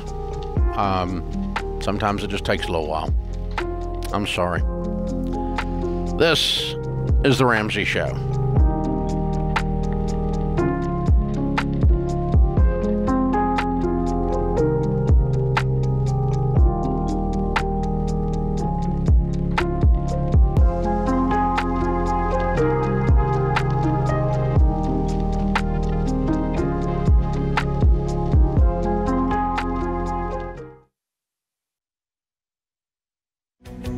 You're looking for ways to update your home without blowing the budget, I've got it. For years, I've been telling you about our friends at Blinds.com. Blinds.com makes it simple to shop top quality blinds, shades, and interior shutters from home with easy online ordering and free shipping. With Blinds.com, there's no need to renovate your entire home. Just change out what's on your windows with upscale choices like faux wood blinds, cellular, and roller shades, or even outdoor shades. Plus, Blinds.com guarantees the perfect fit, whether you do it yourself or you have them measure and install everything for you. Shop their latest looks and see how much you can save at Blinds.com today. The easy and affordable way to make your home more beautiful is Blinds.com.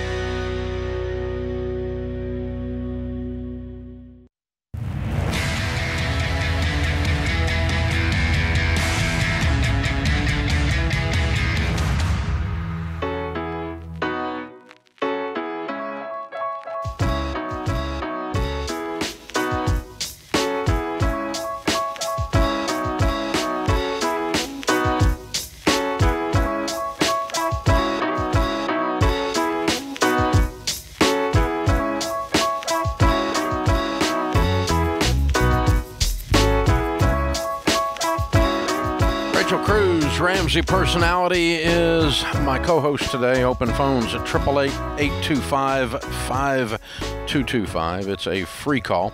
Uh, we've taught God's and Grandma's ways of handling money for nearly 30 years here at Ramsey. Now our good friend and Ramsey personality uh, expert, Dr. John Delony, is paving the way for how we talk about relationships, how we talk about mental health. His brand new book, Own Your Past, Change Your Future, came out yesterday.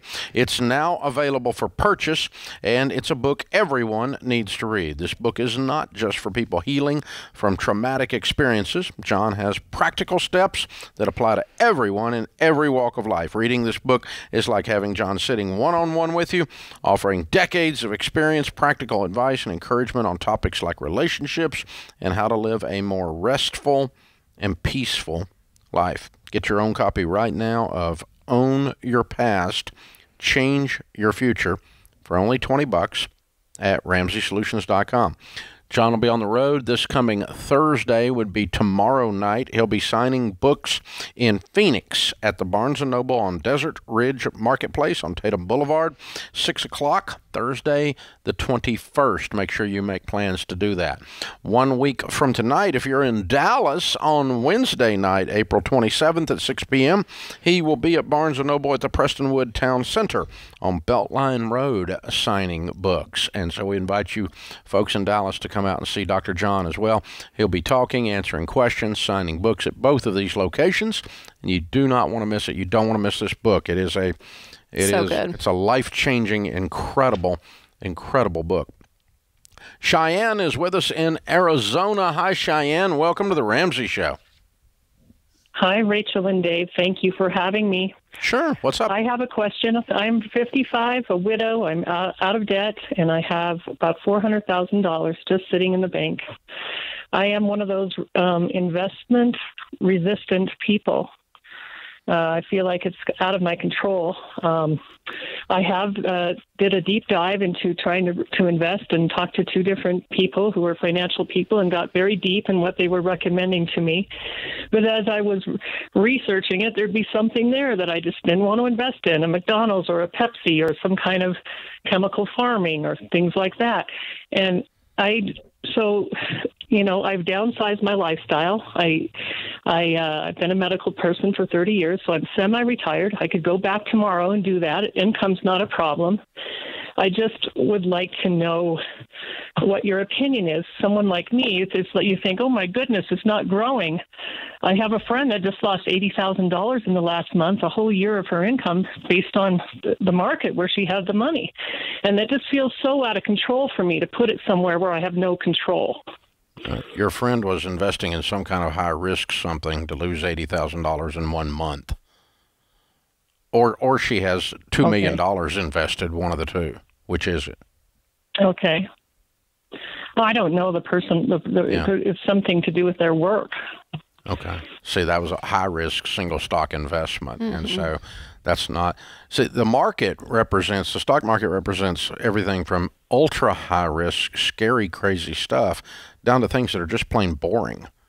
And so um, when someone says they lost money in the market, it can mean that they were virtually gambling in Las Vegas, or it can mean that they, you know, that they just panic every time the, the needle moves a little bit. Um, so, but you, you mm-hmm. don't you don't have a stomach for it, is what you're saying and you can't. I don't have the stomach for it. And you've attempted to uh, gain enough knowledge to get some peace, and it hasn't worked. So, um, but you can't leave uh, four hundred thousand dollars sitting at one percent either. You that's why you called. Agreed. Uh, yes. Yeah, I mean, because you're making nothing. So, what about buying some real estate that creates some income? Well, I did that. Two, I did two houses and turned them in during COVID, but of course it was COVID, and so everything was twice as much, and the help was.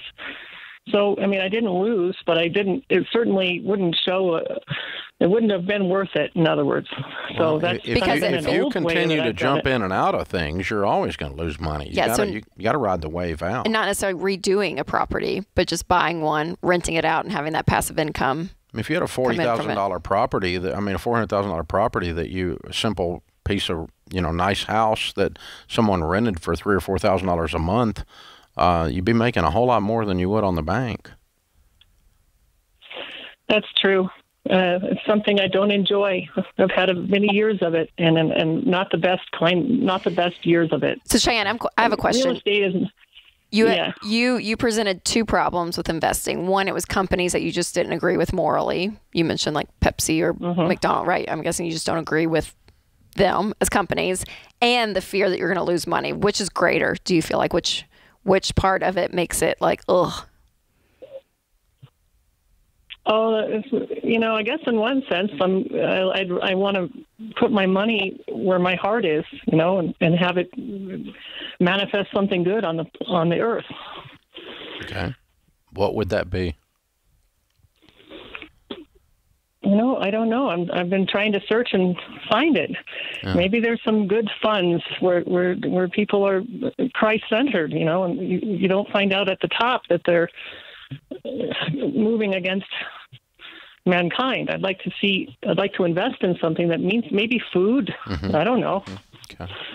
Well, there's um, the, number one when you're dealing with a mutual fund, you're dealing with um, 90 to 200 different companies inside of a mutual fund, and um, at any given time, one of those companies could have some kind of a business practice disclosed or undisclosed that somebody doesn't agree with. Okay. Now you're not giving mm-hmm. them money when you buy their stock. Okay. If you buy stock in a company from me, you gave me the money. Now you are benefiting when they make a profit and the stock goes up in value. Uh, you are benefiting from their actions that you don't agree with, and so that part I do understand. But if there's 90 to 200 and one half of one of the companies is doing something wrong, that's kind of like you shopping at a grocery store that also sells stuff you don't agree with, but you bought the stuff you do agree with there. You, you really can't find okay. you really can't find something that's 100% pure in this world, this side of heaven. Um, if now I will tell you one thing to investigate. There's a, a group out of Atlanta called the Timothy Fund.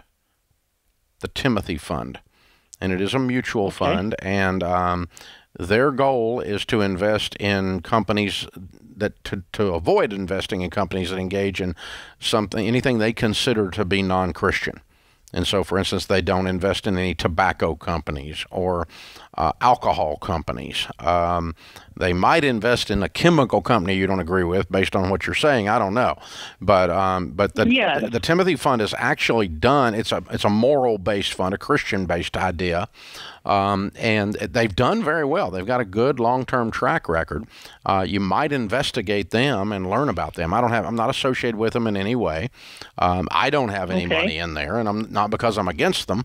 Uh, it's just not the pro- process I have used to do analysis for my my fund picks. But um, I've been aware of them for over a decade, and they've got uh, the main central fund has probably got a now it's probably got a 20 year track record, and it's it's beating the market. Yeah. And uh, the, so. And I would say too, Cheyenne, if you if you decide to step into something because you're wanting to make more than just one percent, you don't have to just do all five hundred thousand. Like do 50,000 for a year and see how that feels and maybe you take another 100,000 right like you can kind of move your way into this um, but for your benefit long term uh, for you to even be generous on the other end to be able to give some money away to things that you really do care about. Um, making that money and I, part of that. I appreciate your pure heart, but that bank that's paying you 1%, I'll guarantee you they're engaged in things you don't like.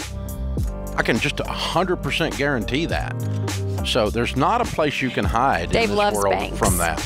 No, I'll just promise you they're they're donating the things you don't agree with. I can promise you they are. This is The Ramsey Show.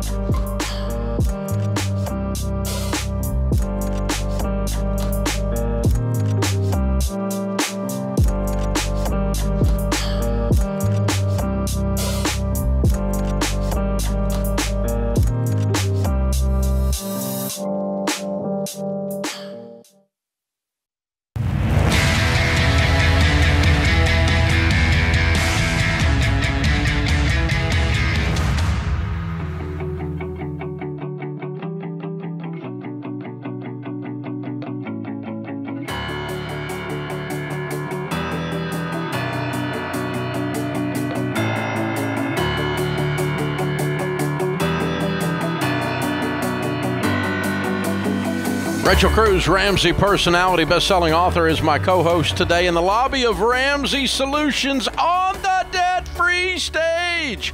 Andrew and Stephanie are with us. Andrew McGuire is our Associate Director of Analytics. He's been with Ramsey for about four years. He's been a team member here for quite a while. A really bright young man, but a team member debt free scream. One of our favorite things to do.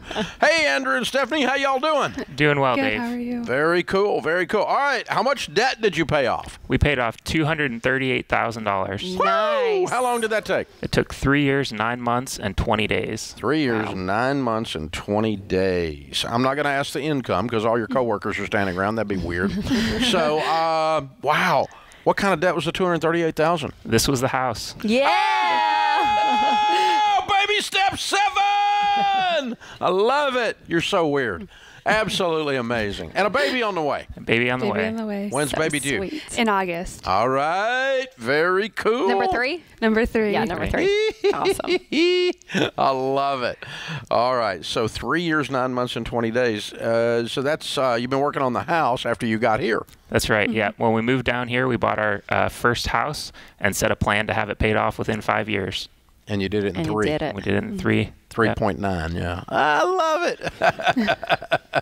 Very Amazing. cool. How old are you two? Uh, we're 31 years old. Okay, man. And what's the house worth? Uh, somewhere around 650,000. Man, I've got a whole bunch of millionaires working for me. I, I had a, another guy come up to me the other day, a young guy, and he said, "I just passed the million dollar mark." There you go. I mean, uh, we got millionaires working here. You ought to come to work for Ramsey. We got millionaires here. I'm just saying. You guys, way to go, man. Thank you. I'm not going to ask about the other and prove that you're a millionaire, but you're right there real close anyway with your 401k and other stuff. So good job, man. Wow. Very, very neat. Oh, man. All right. So tell us the story. You come to work for Ramsey and that finishes it up, what you're already working on, or tell how's, how's all right, this yeah. weave together? Yeah, so our story really began uh, about six and a half years ago. Um, I was taking FPU at a local church, just trying to get my finances in order.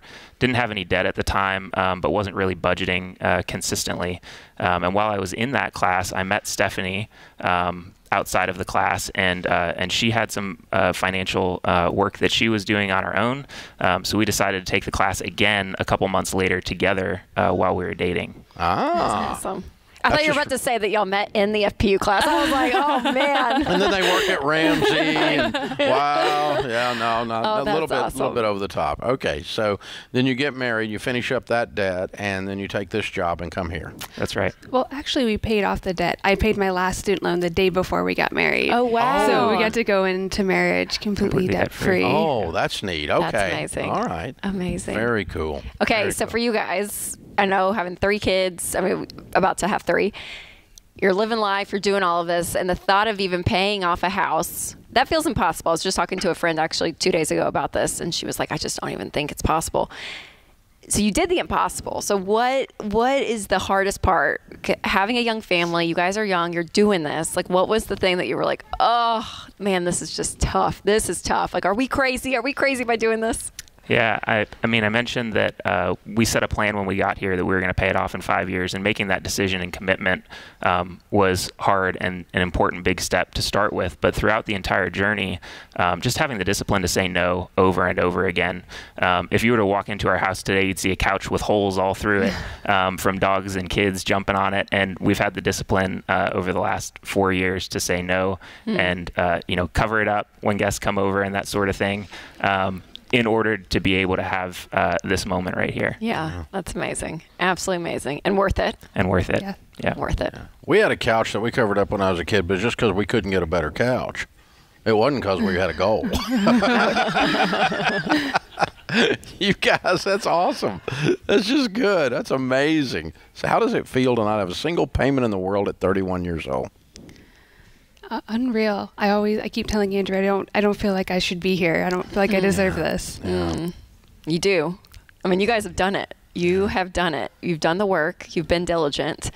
And people are just not they're not willing to, to do the sacrifice, but you guys have been so focused. It's it's it's incredible. Absolutely incredible. When younger when young people do it with little ones running around and they do that journey, I'm just like, golly, there's just there's something about it that I'm like, the sacrifice is so real. It's so real. And yeah, you probably pinch yourself every day being Yeah. like, Wait, what? So how did it feel when you when you sent in the last payment?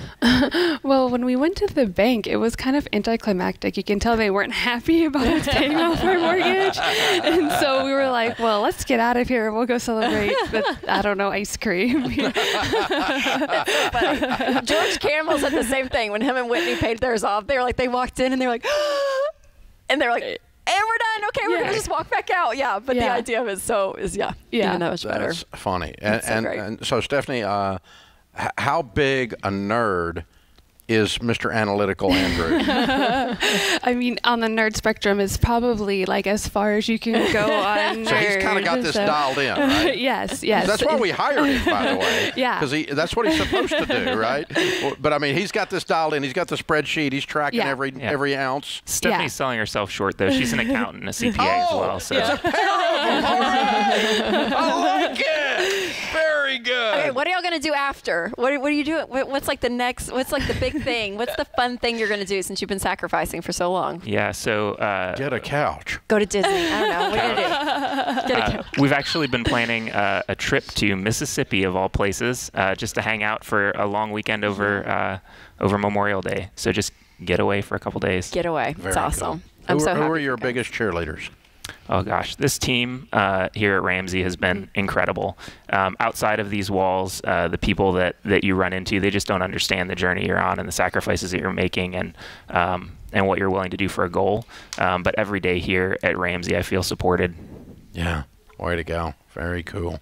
Very cool. Well, uh, we're honored honored to have you on the team. We're so proud of you uh, as friends, but as team members certainly. And uh, wow, 31 years old, $650,000 paid for house. Boom! Just amazing. like that. Woo! I love it. So very, very fun. You just got to love this. Absolutely amazing. All right, it's Andrew. Are the and- two oh, little oh, oh, no, we got the little ones. I'm Are sorry. Bring the little ones up. The names and ages. Uh, so the younger one here is Emmeline. She's 18 months old. Really sweet. And this is Adeline, and All she right. is three years old. Okay, and who's doing the handoff here? Uh, that's Grandma and Grandpa. All right. Well, they're proud of you. I love it. Very good. All right. Adeline and Emmeline, uh, Stephanie and Andrew. Andrew's a team member here for four years. Two hundred thirty-eight thousand. That's their house. They did that in three years and nine months and twenty days, to be precise. And house is worth six fifty. They're thirty-one years old. hundred percent debt-free, baby. Count it down. Let's hear a debt-free scream. Ready? Three, Three, two, one. one. We're debt free.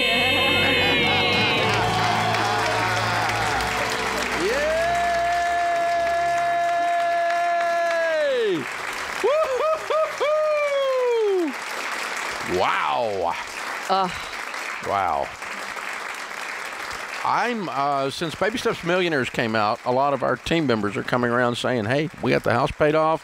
Uh, we just added up the uh, 401k and the other stuff, and the net worth just went over a million dollars." And the number of times I'm hearing that in the last month around the building here, pretty amazing. And um, you know, they make, you know, the folks here make market rate. They make good money, but we're not paying people a million dollars a year here either. So Right. they're doing this stuff because they're they're following the baby steps and they're truly baby steps millionaires in the process. And so I suspect Andrew and Stephanie are there or very, very close at this point. That's very, very cool. And it's always encouraging to me where I'm like, you know, that took four years and a long four years, I'm sure it felt like. Yeah. But I'm like, that's such a blink. I'm like, you look forward and you're like, oh my gosh, you know, in the next four years, what you're going to have invested and what you guys are going to be able to do as a family. And then you just keep going, going, going. I'm like, for a short period of time, a short period of time, it's hard, but it's so worth it. They're amazing. Live like no one else, so later you can live and give like no one else. This is The Ramsey Show.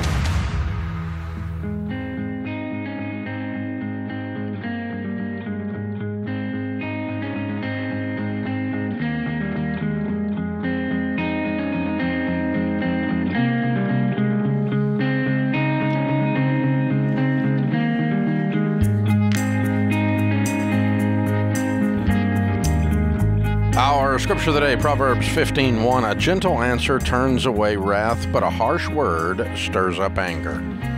Dale Carnegie said, Don't be afraid of enemies who attack you, be afraid of friends who flatter you. oh, man. Really? Wow. Pretty fun. Really? Hold on. Can we talk about that for a second? Dale? I took his class when I was in high school. Flatter. Flatter. Flattery. Flatter I know. Flattery is not true. Oh. Okay. It's an. it's just a compliment. It's untrue. It's an untrue compliment. Really? Yeah. Flattery. Gregory is in Baltimore, Maryland. Hi, Gregory. How are you? Uh, how you doing, Dave? I'm better than, than expected, and Rachel. Good. Um, uh, my question for you is well, I've got three really, but I know I don't have much time, so I'm gonna talk fast. Um, I, I'm, I'm caregiver for my 97 year old mother, Whoa. who lives with me. Who lives with me, and she has a, an annuity with a well-known Christian organization in which she pays um, yearly five thousand dollars contributes, and she gets about twelve, little over twelve hundred in dividends, I guess it is.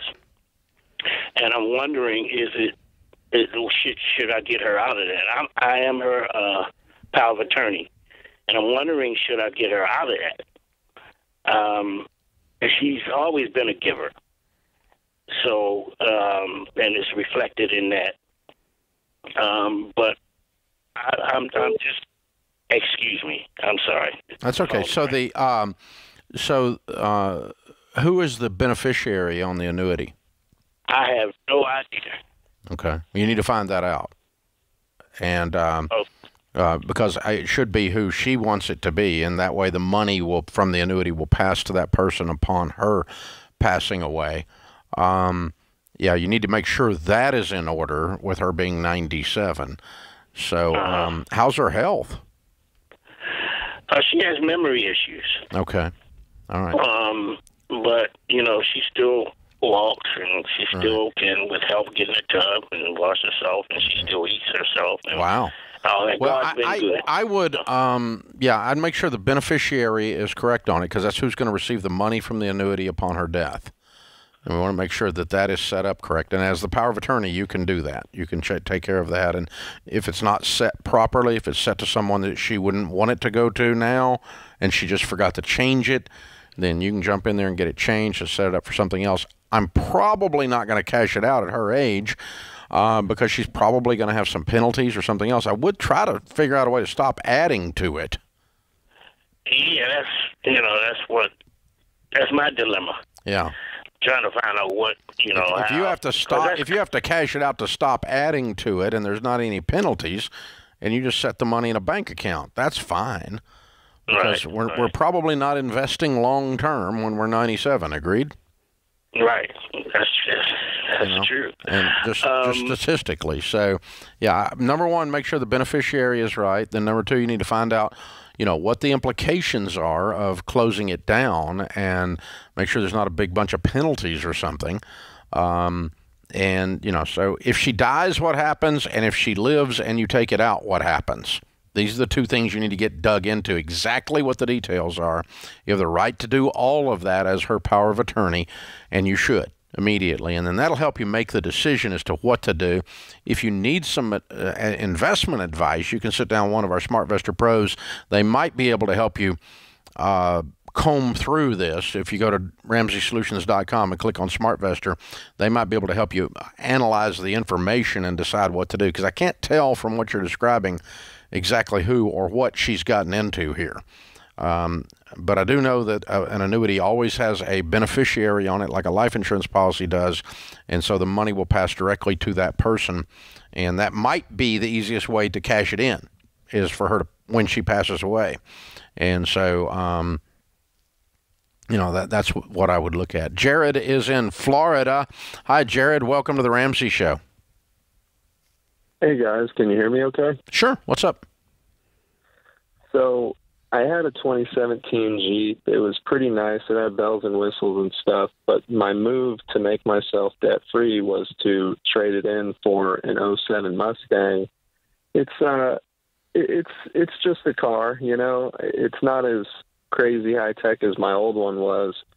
Um, and I don't know. I'm just trying to justify to myself that I did the right thing. Uh, it was a three hundred dollar a month payment, so you know I'm I'm debt free now. What do you make?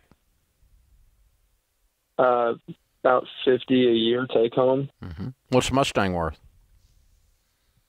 Uh, I haven't looked that up. I'd assume around.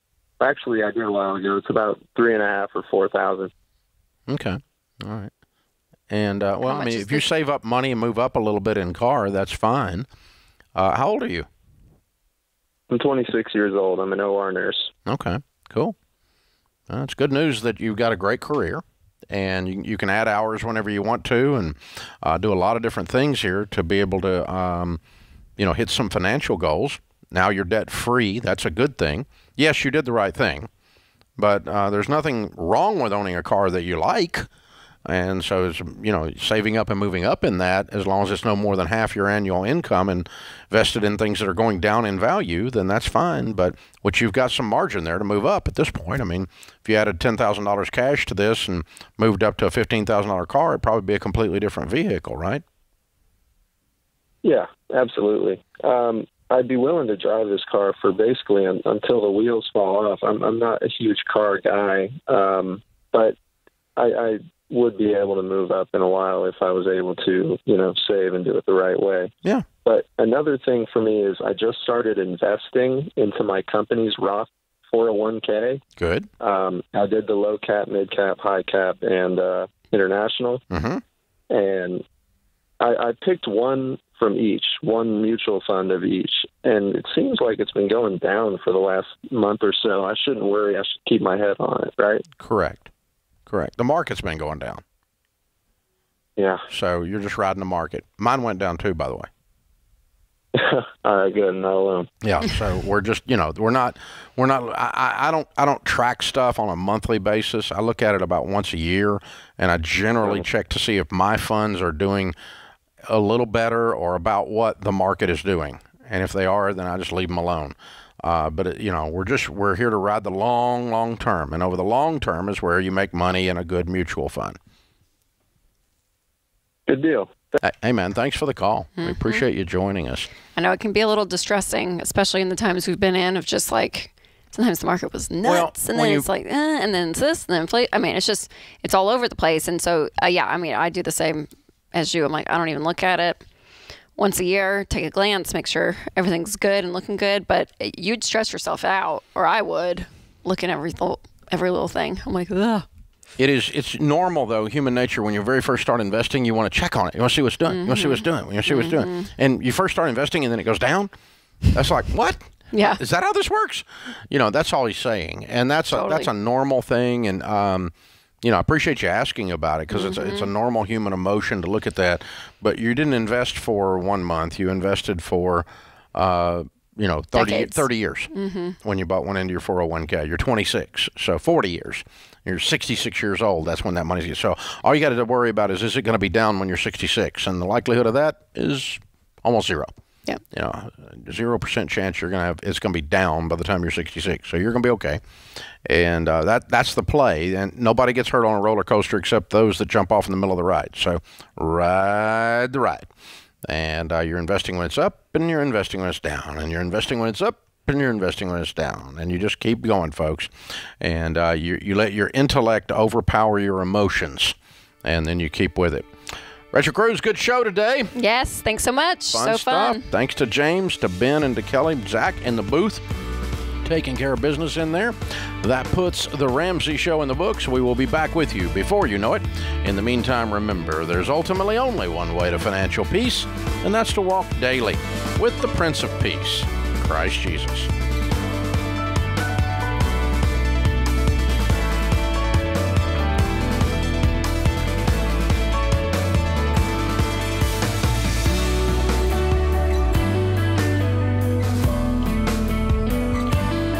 Rachel Cruze co host on The Ramsey Show. If you want to do your debt free scream live on the show, visit ramseysolutions.com slash debt free scream. We'd love for you to come to Nashville and tell Dave your story. That's ramseysolutions.com slash debt free scream.